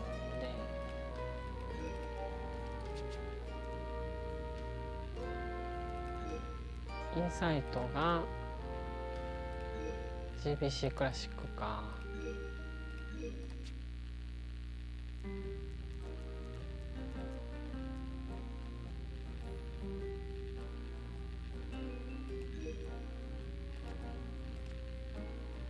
1500って持つあ持つな。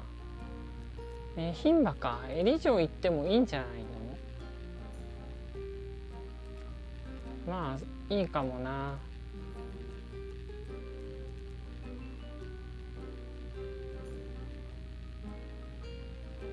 せっかく復活したんだから。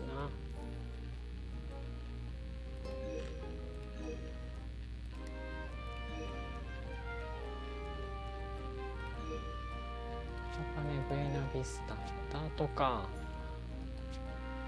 ダートはダメですからね。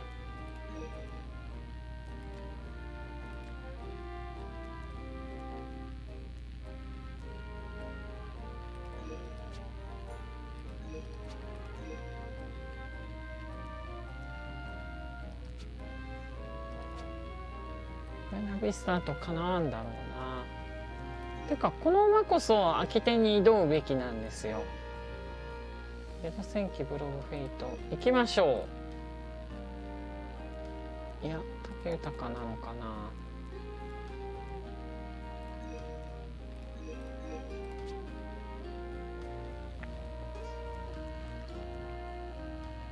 ね女子会は勝ちました。どうかな？つまあ、強かったんじゃないでしょうか。減点も結構他の馬からある程度差を離してたんで悪くはないと思いますよ。まあ問題はあれですよね気象ですよね。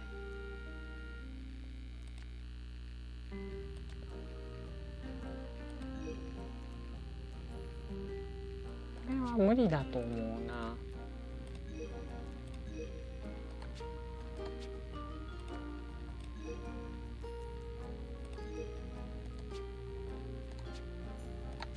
まあ、まだ無理ですよね。なのでもうちょっと待ちましょ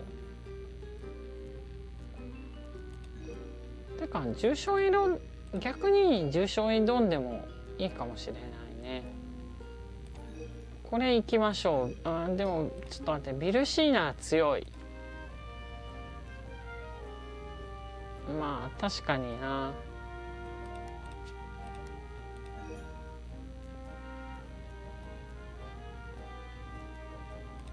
これかな？ファンタジーステークスかな？挑むとすれば。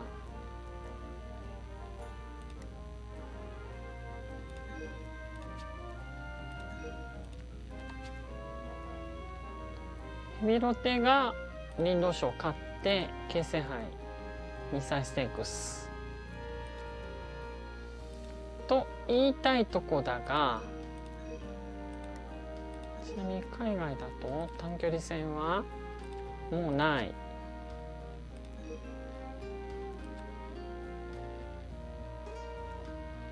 あこことかもいいですよね。結局こことかも。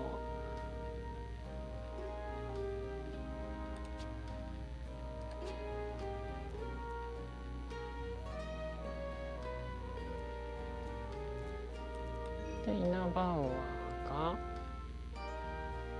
まあいいんじゃないでしょうか。いいんだけど持つかな。でブログが起点。ブログはうん。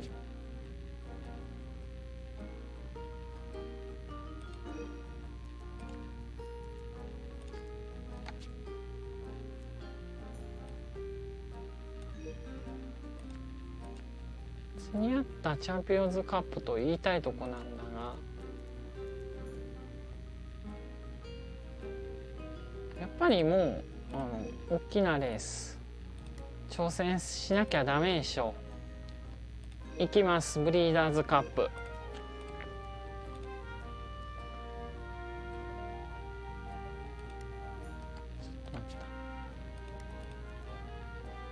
まあカーダ騎手でいいと思う。それからもう一個はここじゃなくて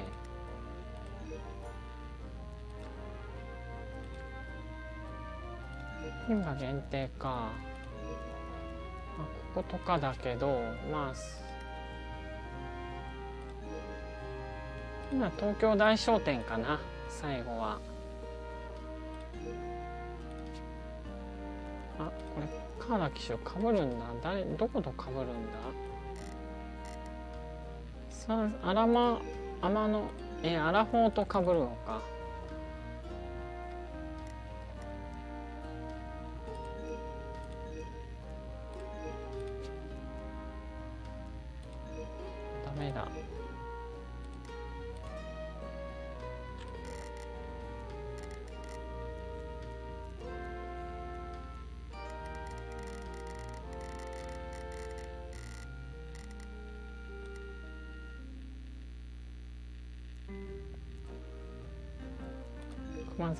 沢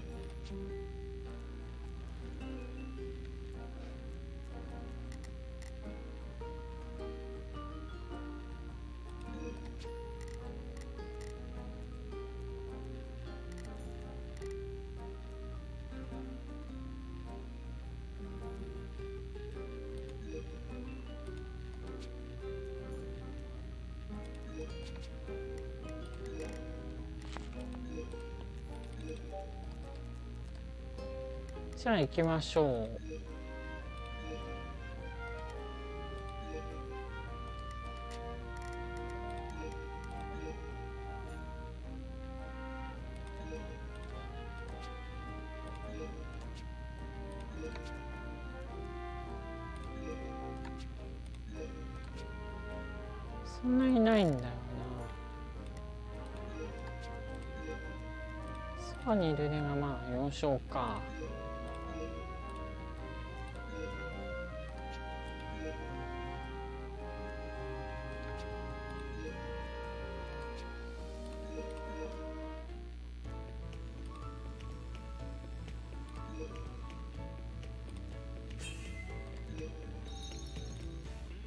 私を信じて。ということで。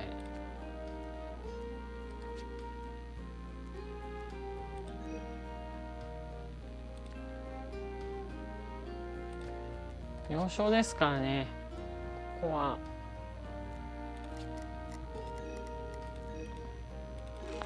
鍛えるにはいいんじゃないでしょうか。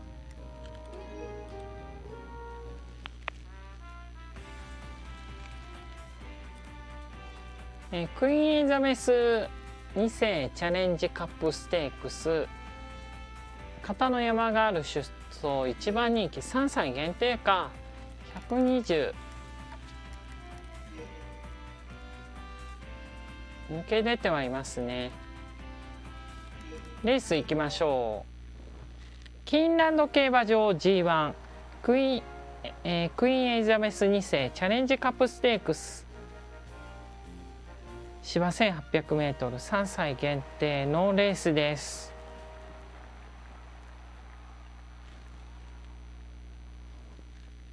こちらアメリカのキーンランド競馬場から国際重賞競争をお伝えします。いよいよ発走です。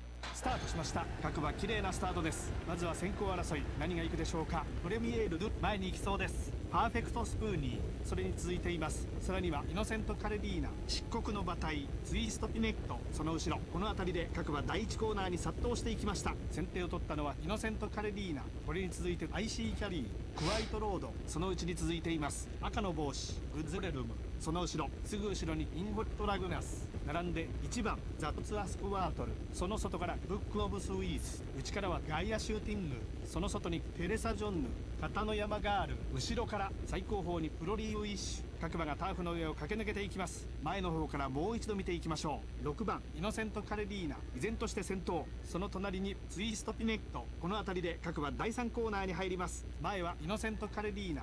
ツイストピネットほとんど差がありません。間を挟んでグッズレルム。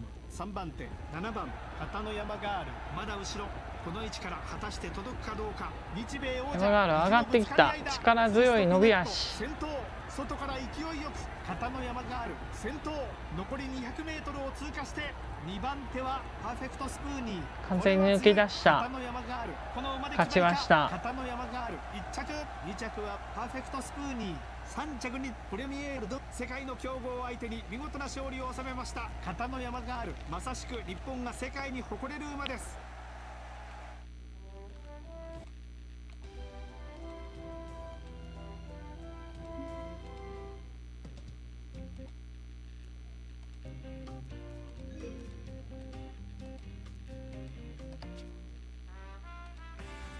トゥーラックハンディキャップ。天のブルーレイ登場一番人気となります。129モアジョイナス。スターコーモランド。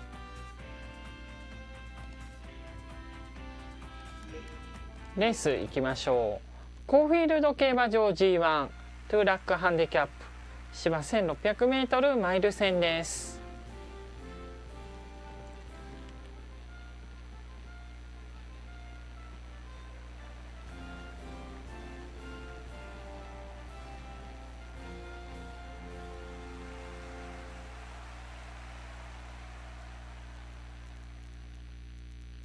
ちらオーストラリアのコーフィールド競馬場から国際重賞競争をお伝えします。いよいよ発走です。スタートしました。好スタートを決めたのはアプローチクラーク。綺麗なスタートを切りました。ダッシュよく飛び出してアプローチクラーク。ハナに立ちます。その後ろからはファイティングカウント。この馬も上がっていく構えです。さらにはグロリアサバンナ G1 馬モアジョイアス。その後ろ先手を取ったのはファイティングカウント。その外からバラエティクラブオーシャンウィンすぐ後ろ内からはスターコーモラント。これに続くのがバス後ろから二頭目か。すぐ後ろにフェイクアデザート。その隣にグレイトボイスタップスタテュート。それに続きます。その外にインターバルシャック。その後ろからはノンエアコブラ。最終コーナーをカーブして直線コースに入りました。ちょっとコース詰まってる感じあるよな。ここで先頭はバラエティクラブ。差を広げにかかりますファイティングカウント懸命に追いすがります。ダメだ伸びないな。いい足ここから勝負をようやく仕掛けてくるが残りあと 200m 長い直線。届くのかこれ。バラエティクラブ。先頭残り 200m を通過して先頭は依然としてバラエティクラブ。ようやく2番手。バラエティクラブ。先頭だ。バラエティクラブ。1着。2着にはどうやら天野ブルーレイ。勝ったのはバラエティクラブ。見事な勝利です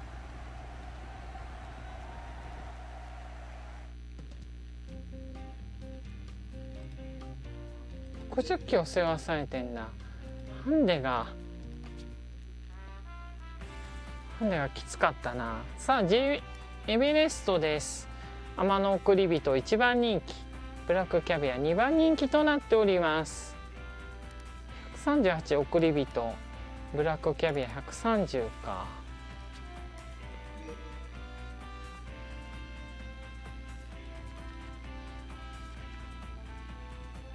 であとヘイリストあたりですね。えー、ん？これはいいレース行きますか。ロイヤルランドウィーク競馬場 G1 ジエベレスト芝 1200m です。確か世界最高額の賞金だったはず。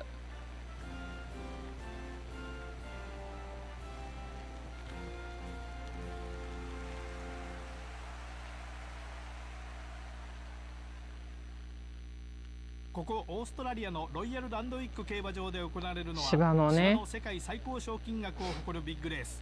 さあスプリンターの頂点の座をかけて G エベレストまもなく発走です。スタートしました。勢いよく飛び出したのは JJ ザあんまりいいスタートじゃなかったかな。この馬も好スタートを切りました。先手を取ったのは予想通り JJ ザジェットプレーン。さらにはエブンリー・プリメラ直線も短いからなここは。先手を取ったのは JJ ザジェットプレーンその後ろからはブラックキャビア。これにさあブラックキャビアもう好位つけました。その外からアイランドマリーノ並んで9番セイクリッドキングダム。シーニックブラスト。すぐ後ろ天の送り人。後ろからマーレフ。それに続きます。しんがりからプレザントバドミントンさあいよいよ勝負どころ。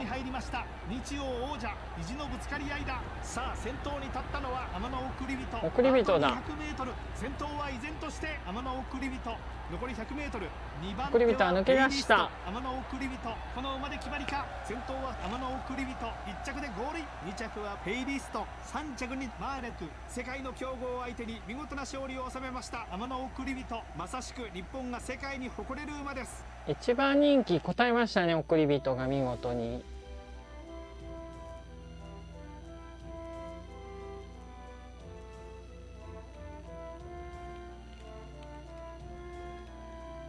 じわ8連勝となります。今年いっぱいで現役まあ2頭ともそうですが去ることになる送りえー、でさ送り人。どんどん実績を積み重ねています。これ渋馬になっても楽しみですね。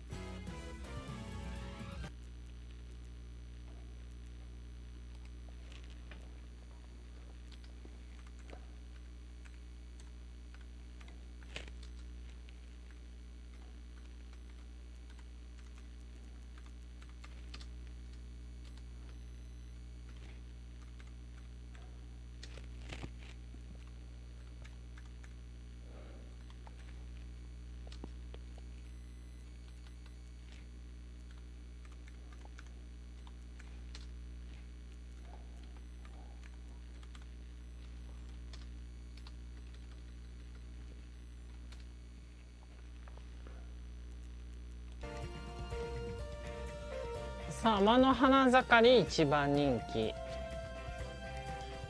アマノトゥルス二番人気か。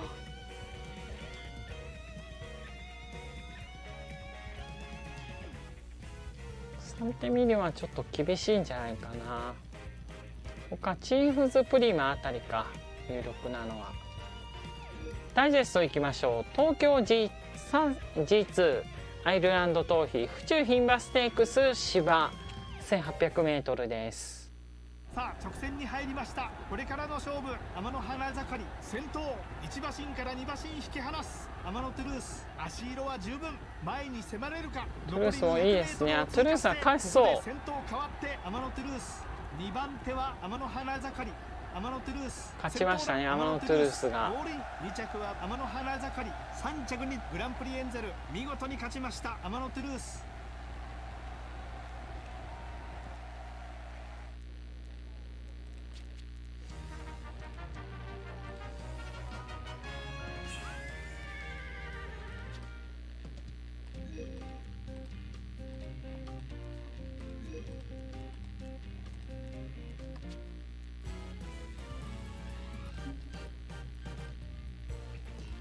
そしてそうです。ゴールドシップがデビューなんです。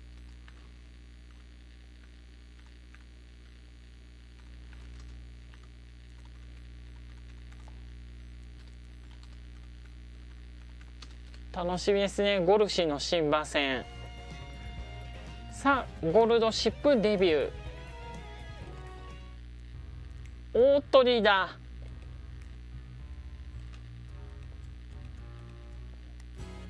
一番人気1.9倍。もちろんグリグリです。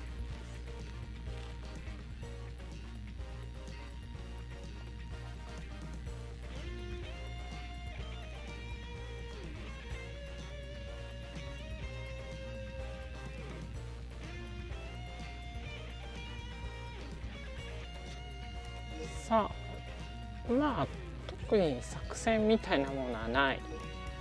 ダイジェストいきましょう。京都2歳新馬戦芝 2000m ゴールドシップメイクデビューです。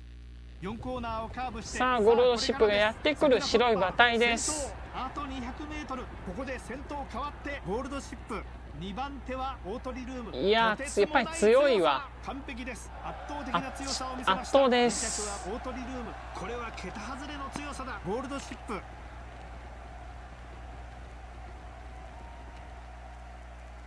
期待通りをデビュー戦となりましたゴールドシップ。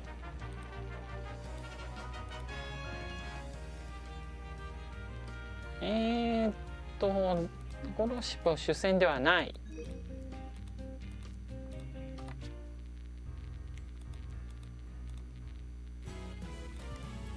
さあアマアマナリエッティも新馬デビューとなりますね。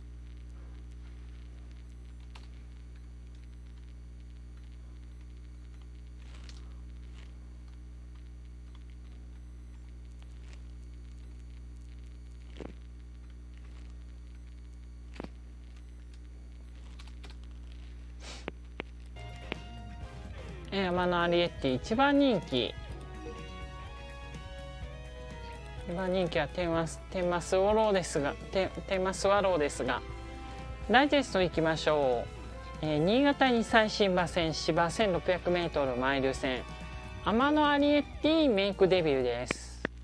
4コーナーをカーブしてさあこれからです。まだ後ろにいるぞアリエッティ。届くのか？なんか伸びが悪い。あれ？どうしたんだアマのアリエッティ。あ今なんだこれ？一気にねじ伏せる。束を一気にちきります。2番手は天マスワロー。急にギアが変わった。今見ました？2着は天マスワロー。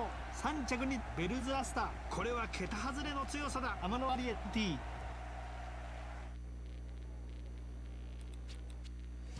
あまりにもおかしなギアの変わり具合でしたね。圧倒しました。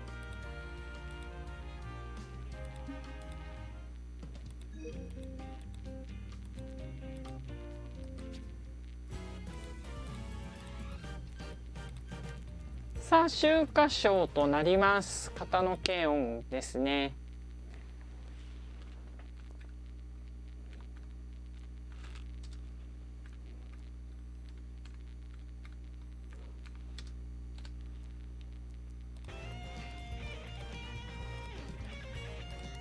さあこれは一番人気はやっぱりホイールキャプチャーですね。ホイールキャプチャーが牝馬3冠がかかります。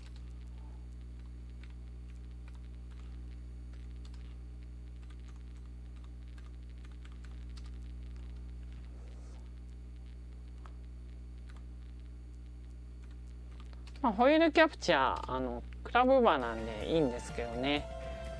取ってもらっても。でも片野慶音にも頑張ってほしい。片野慶音はローズステークスを買って、え、この場に挑んでます。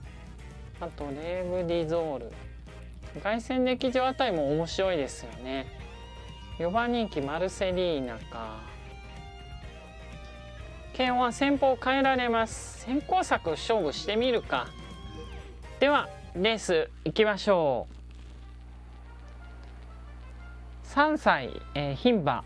三冠レースの最後は秋華賞です。京都競馬場 G1 芝 2000m で行われます。さあホエールキャプチャーが牝馬三冠がかかります。ホエールキャプチャーが三冠なるか阻止する馬は出るのでしょうか。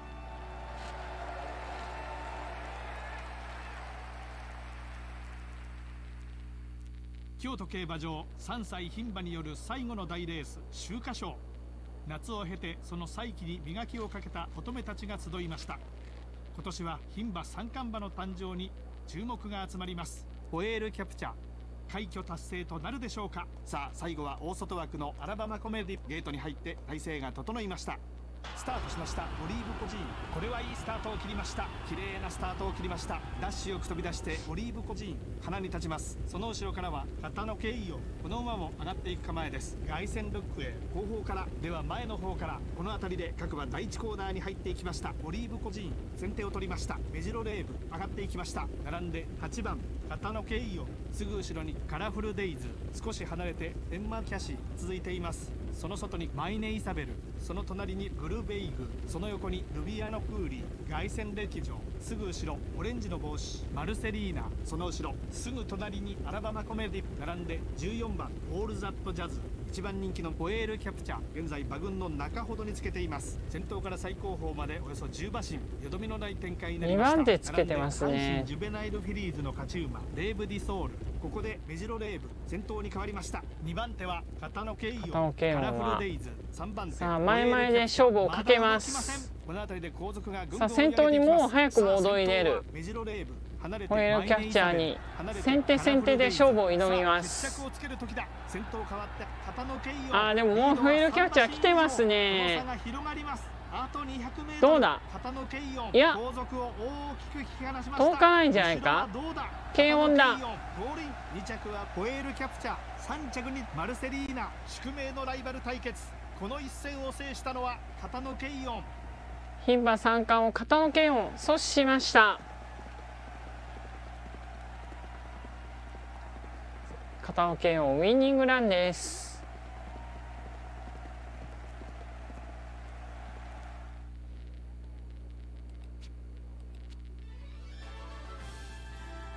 父スペシャルウィーク母競泳マーチ。悪いことしちゃいましたかね。俺なんかやっちゃいましたっていう感じですね。G1 馬になりました片野慶音遅れてきた大物っていう名前がつきましたね。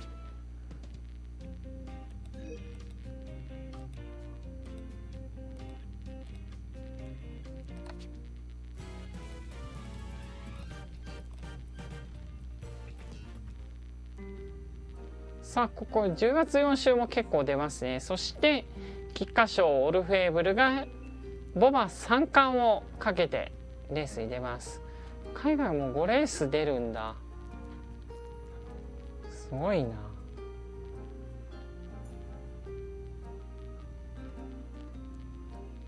カナダは岩田騎手が行ってもらってますね。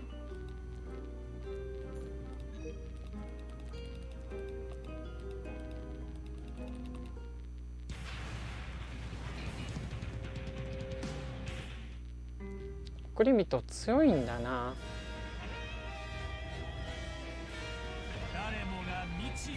たい。金色の暴おお金色の暴君来た。一強です。さあ凱旋門賞では大敗してしまったオルフェーブル。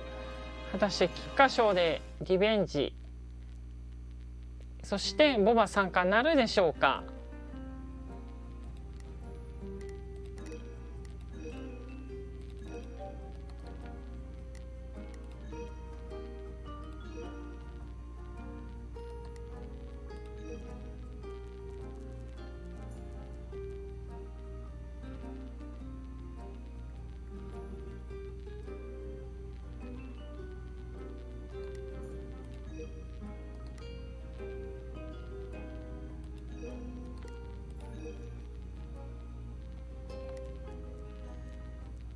バリアションか。そうだウィンバリアションは距離は伸びるか伸びれば伸びるほどよくってなんでオルフェーブル3000ギリギリなんですよね。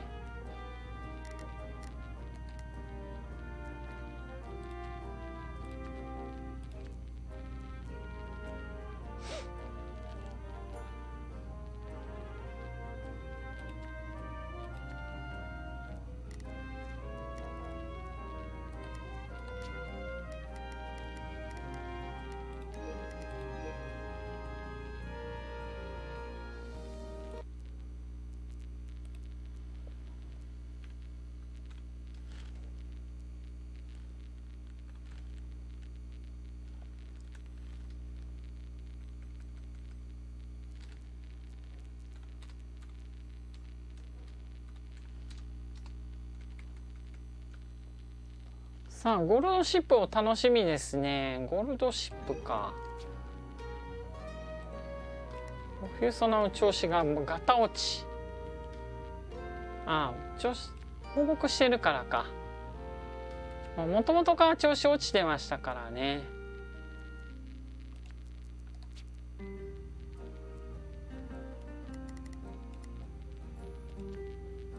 さあこれでヤマーガールが放牧。ブルーレイは惜しかったな。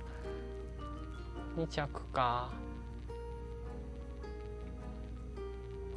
いくらでも有馬記念はないですね、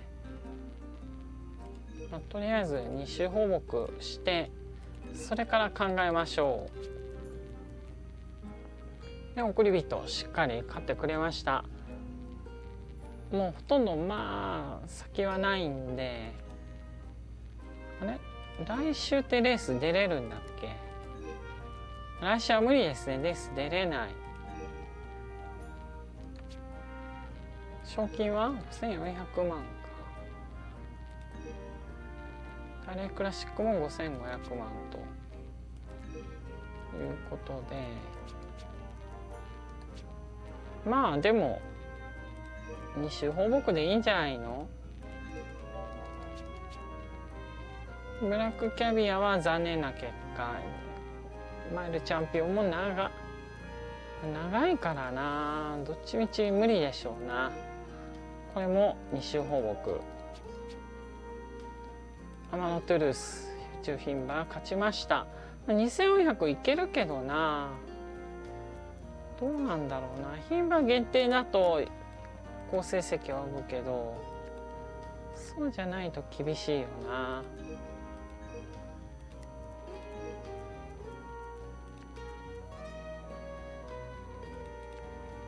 先にちょっと予約取っとく。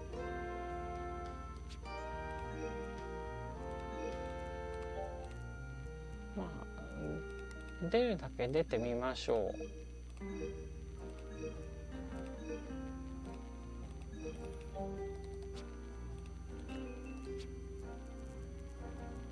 う。花盛り。エリジョか。エリジョギリギリではありますね距離は。あまり出たくないなエリジョは。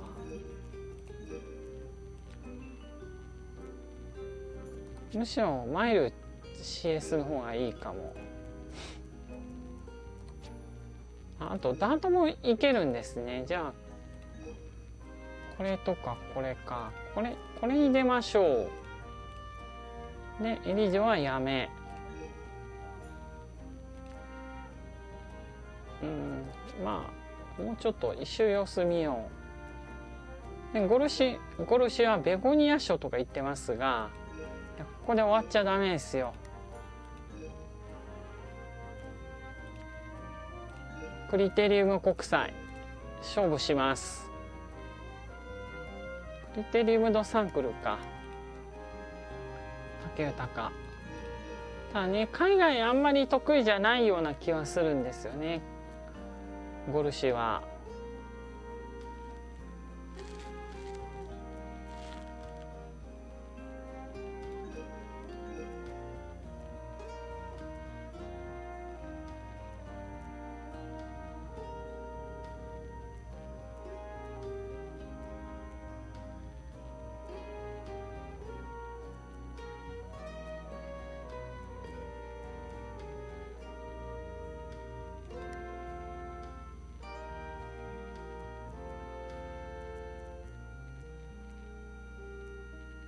G16 勝もしてんのか。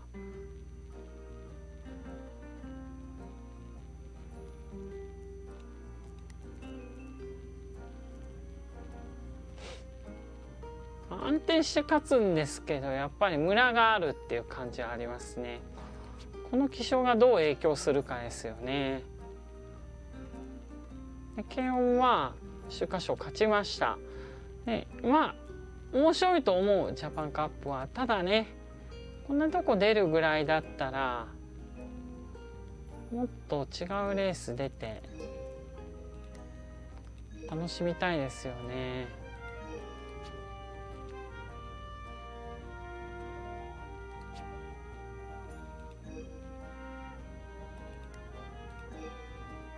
ちなみになんか弱そうなメンツエミレーツは。ックスプレートもまあ弱い。軽音ってこれ取ったばっかりなんでちょっと鉄は熱いうちにてっていう感じですよね。出ましょうエミレーツ。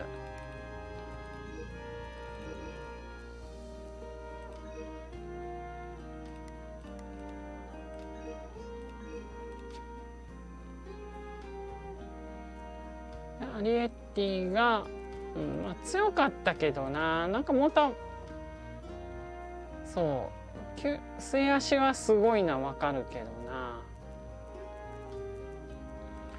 やっぱりもうちょっとあの様子見たいですねこの馬に関しては。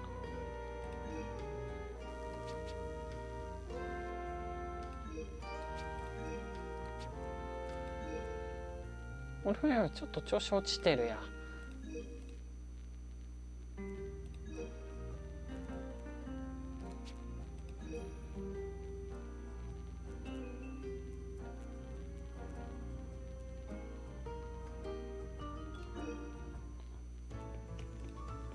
えー、っとこれです。カルメ調教。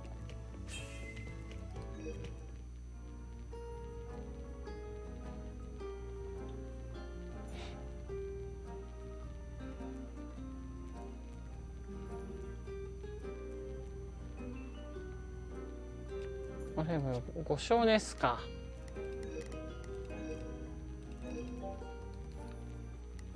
ちょっと待って馬でジョッキーがかぶってるレース。ケースがあったらちょっと調整しましょう。あ赤になってるとこないね。大丈夫ですね。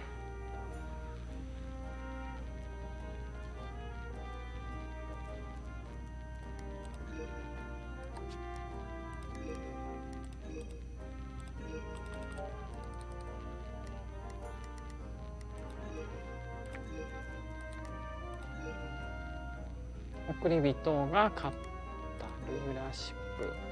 最上位。菊花賞はオルフェーブルとウィンバリアシオン。初音ミクが富士ステークスか。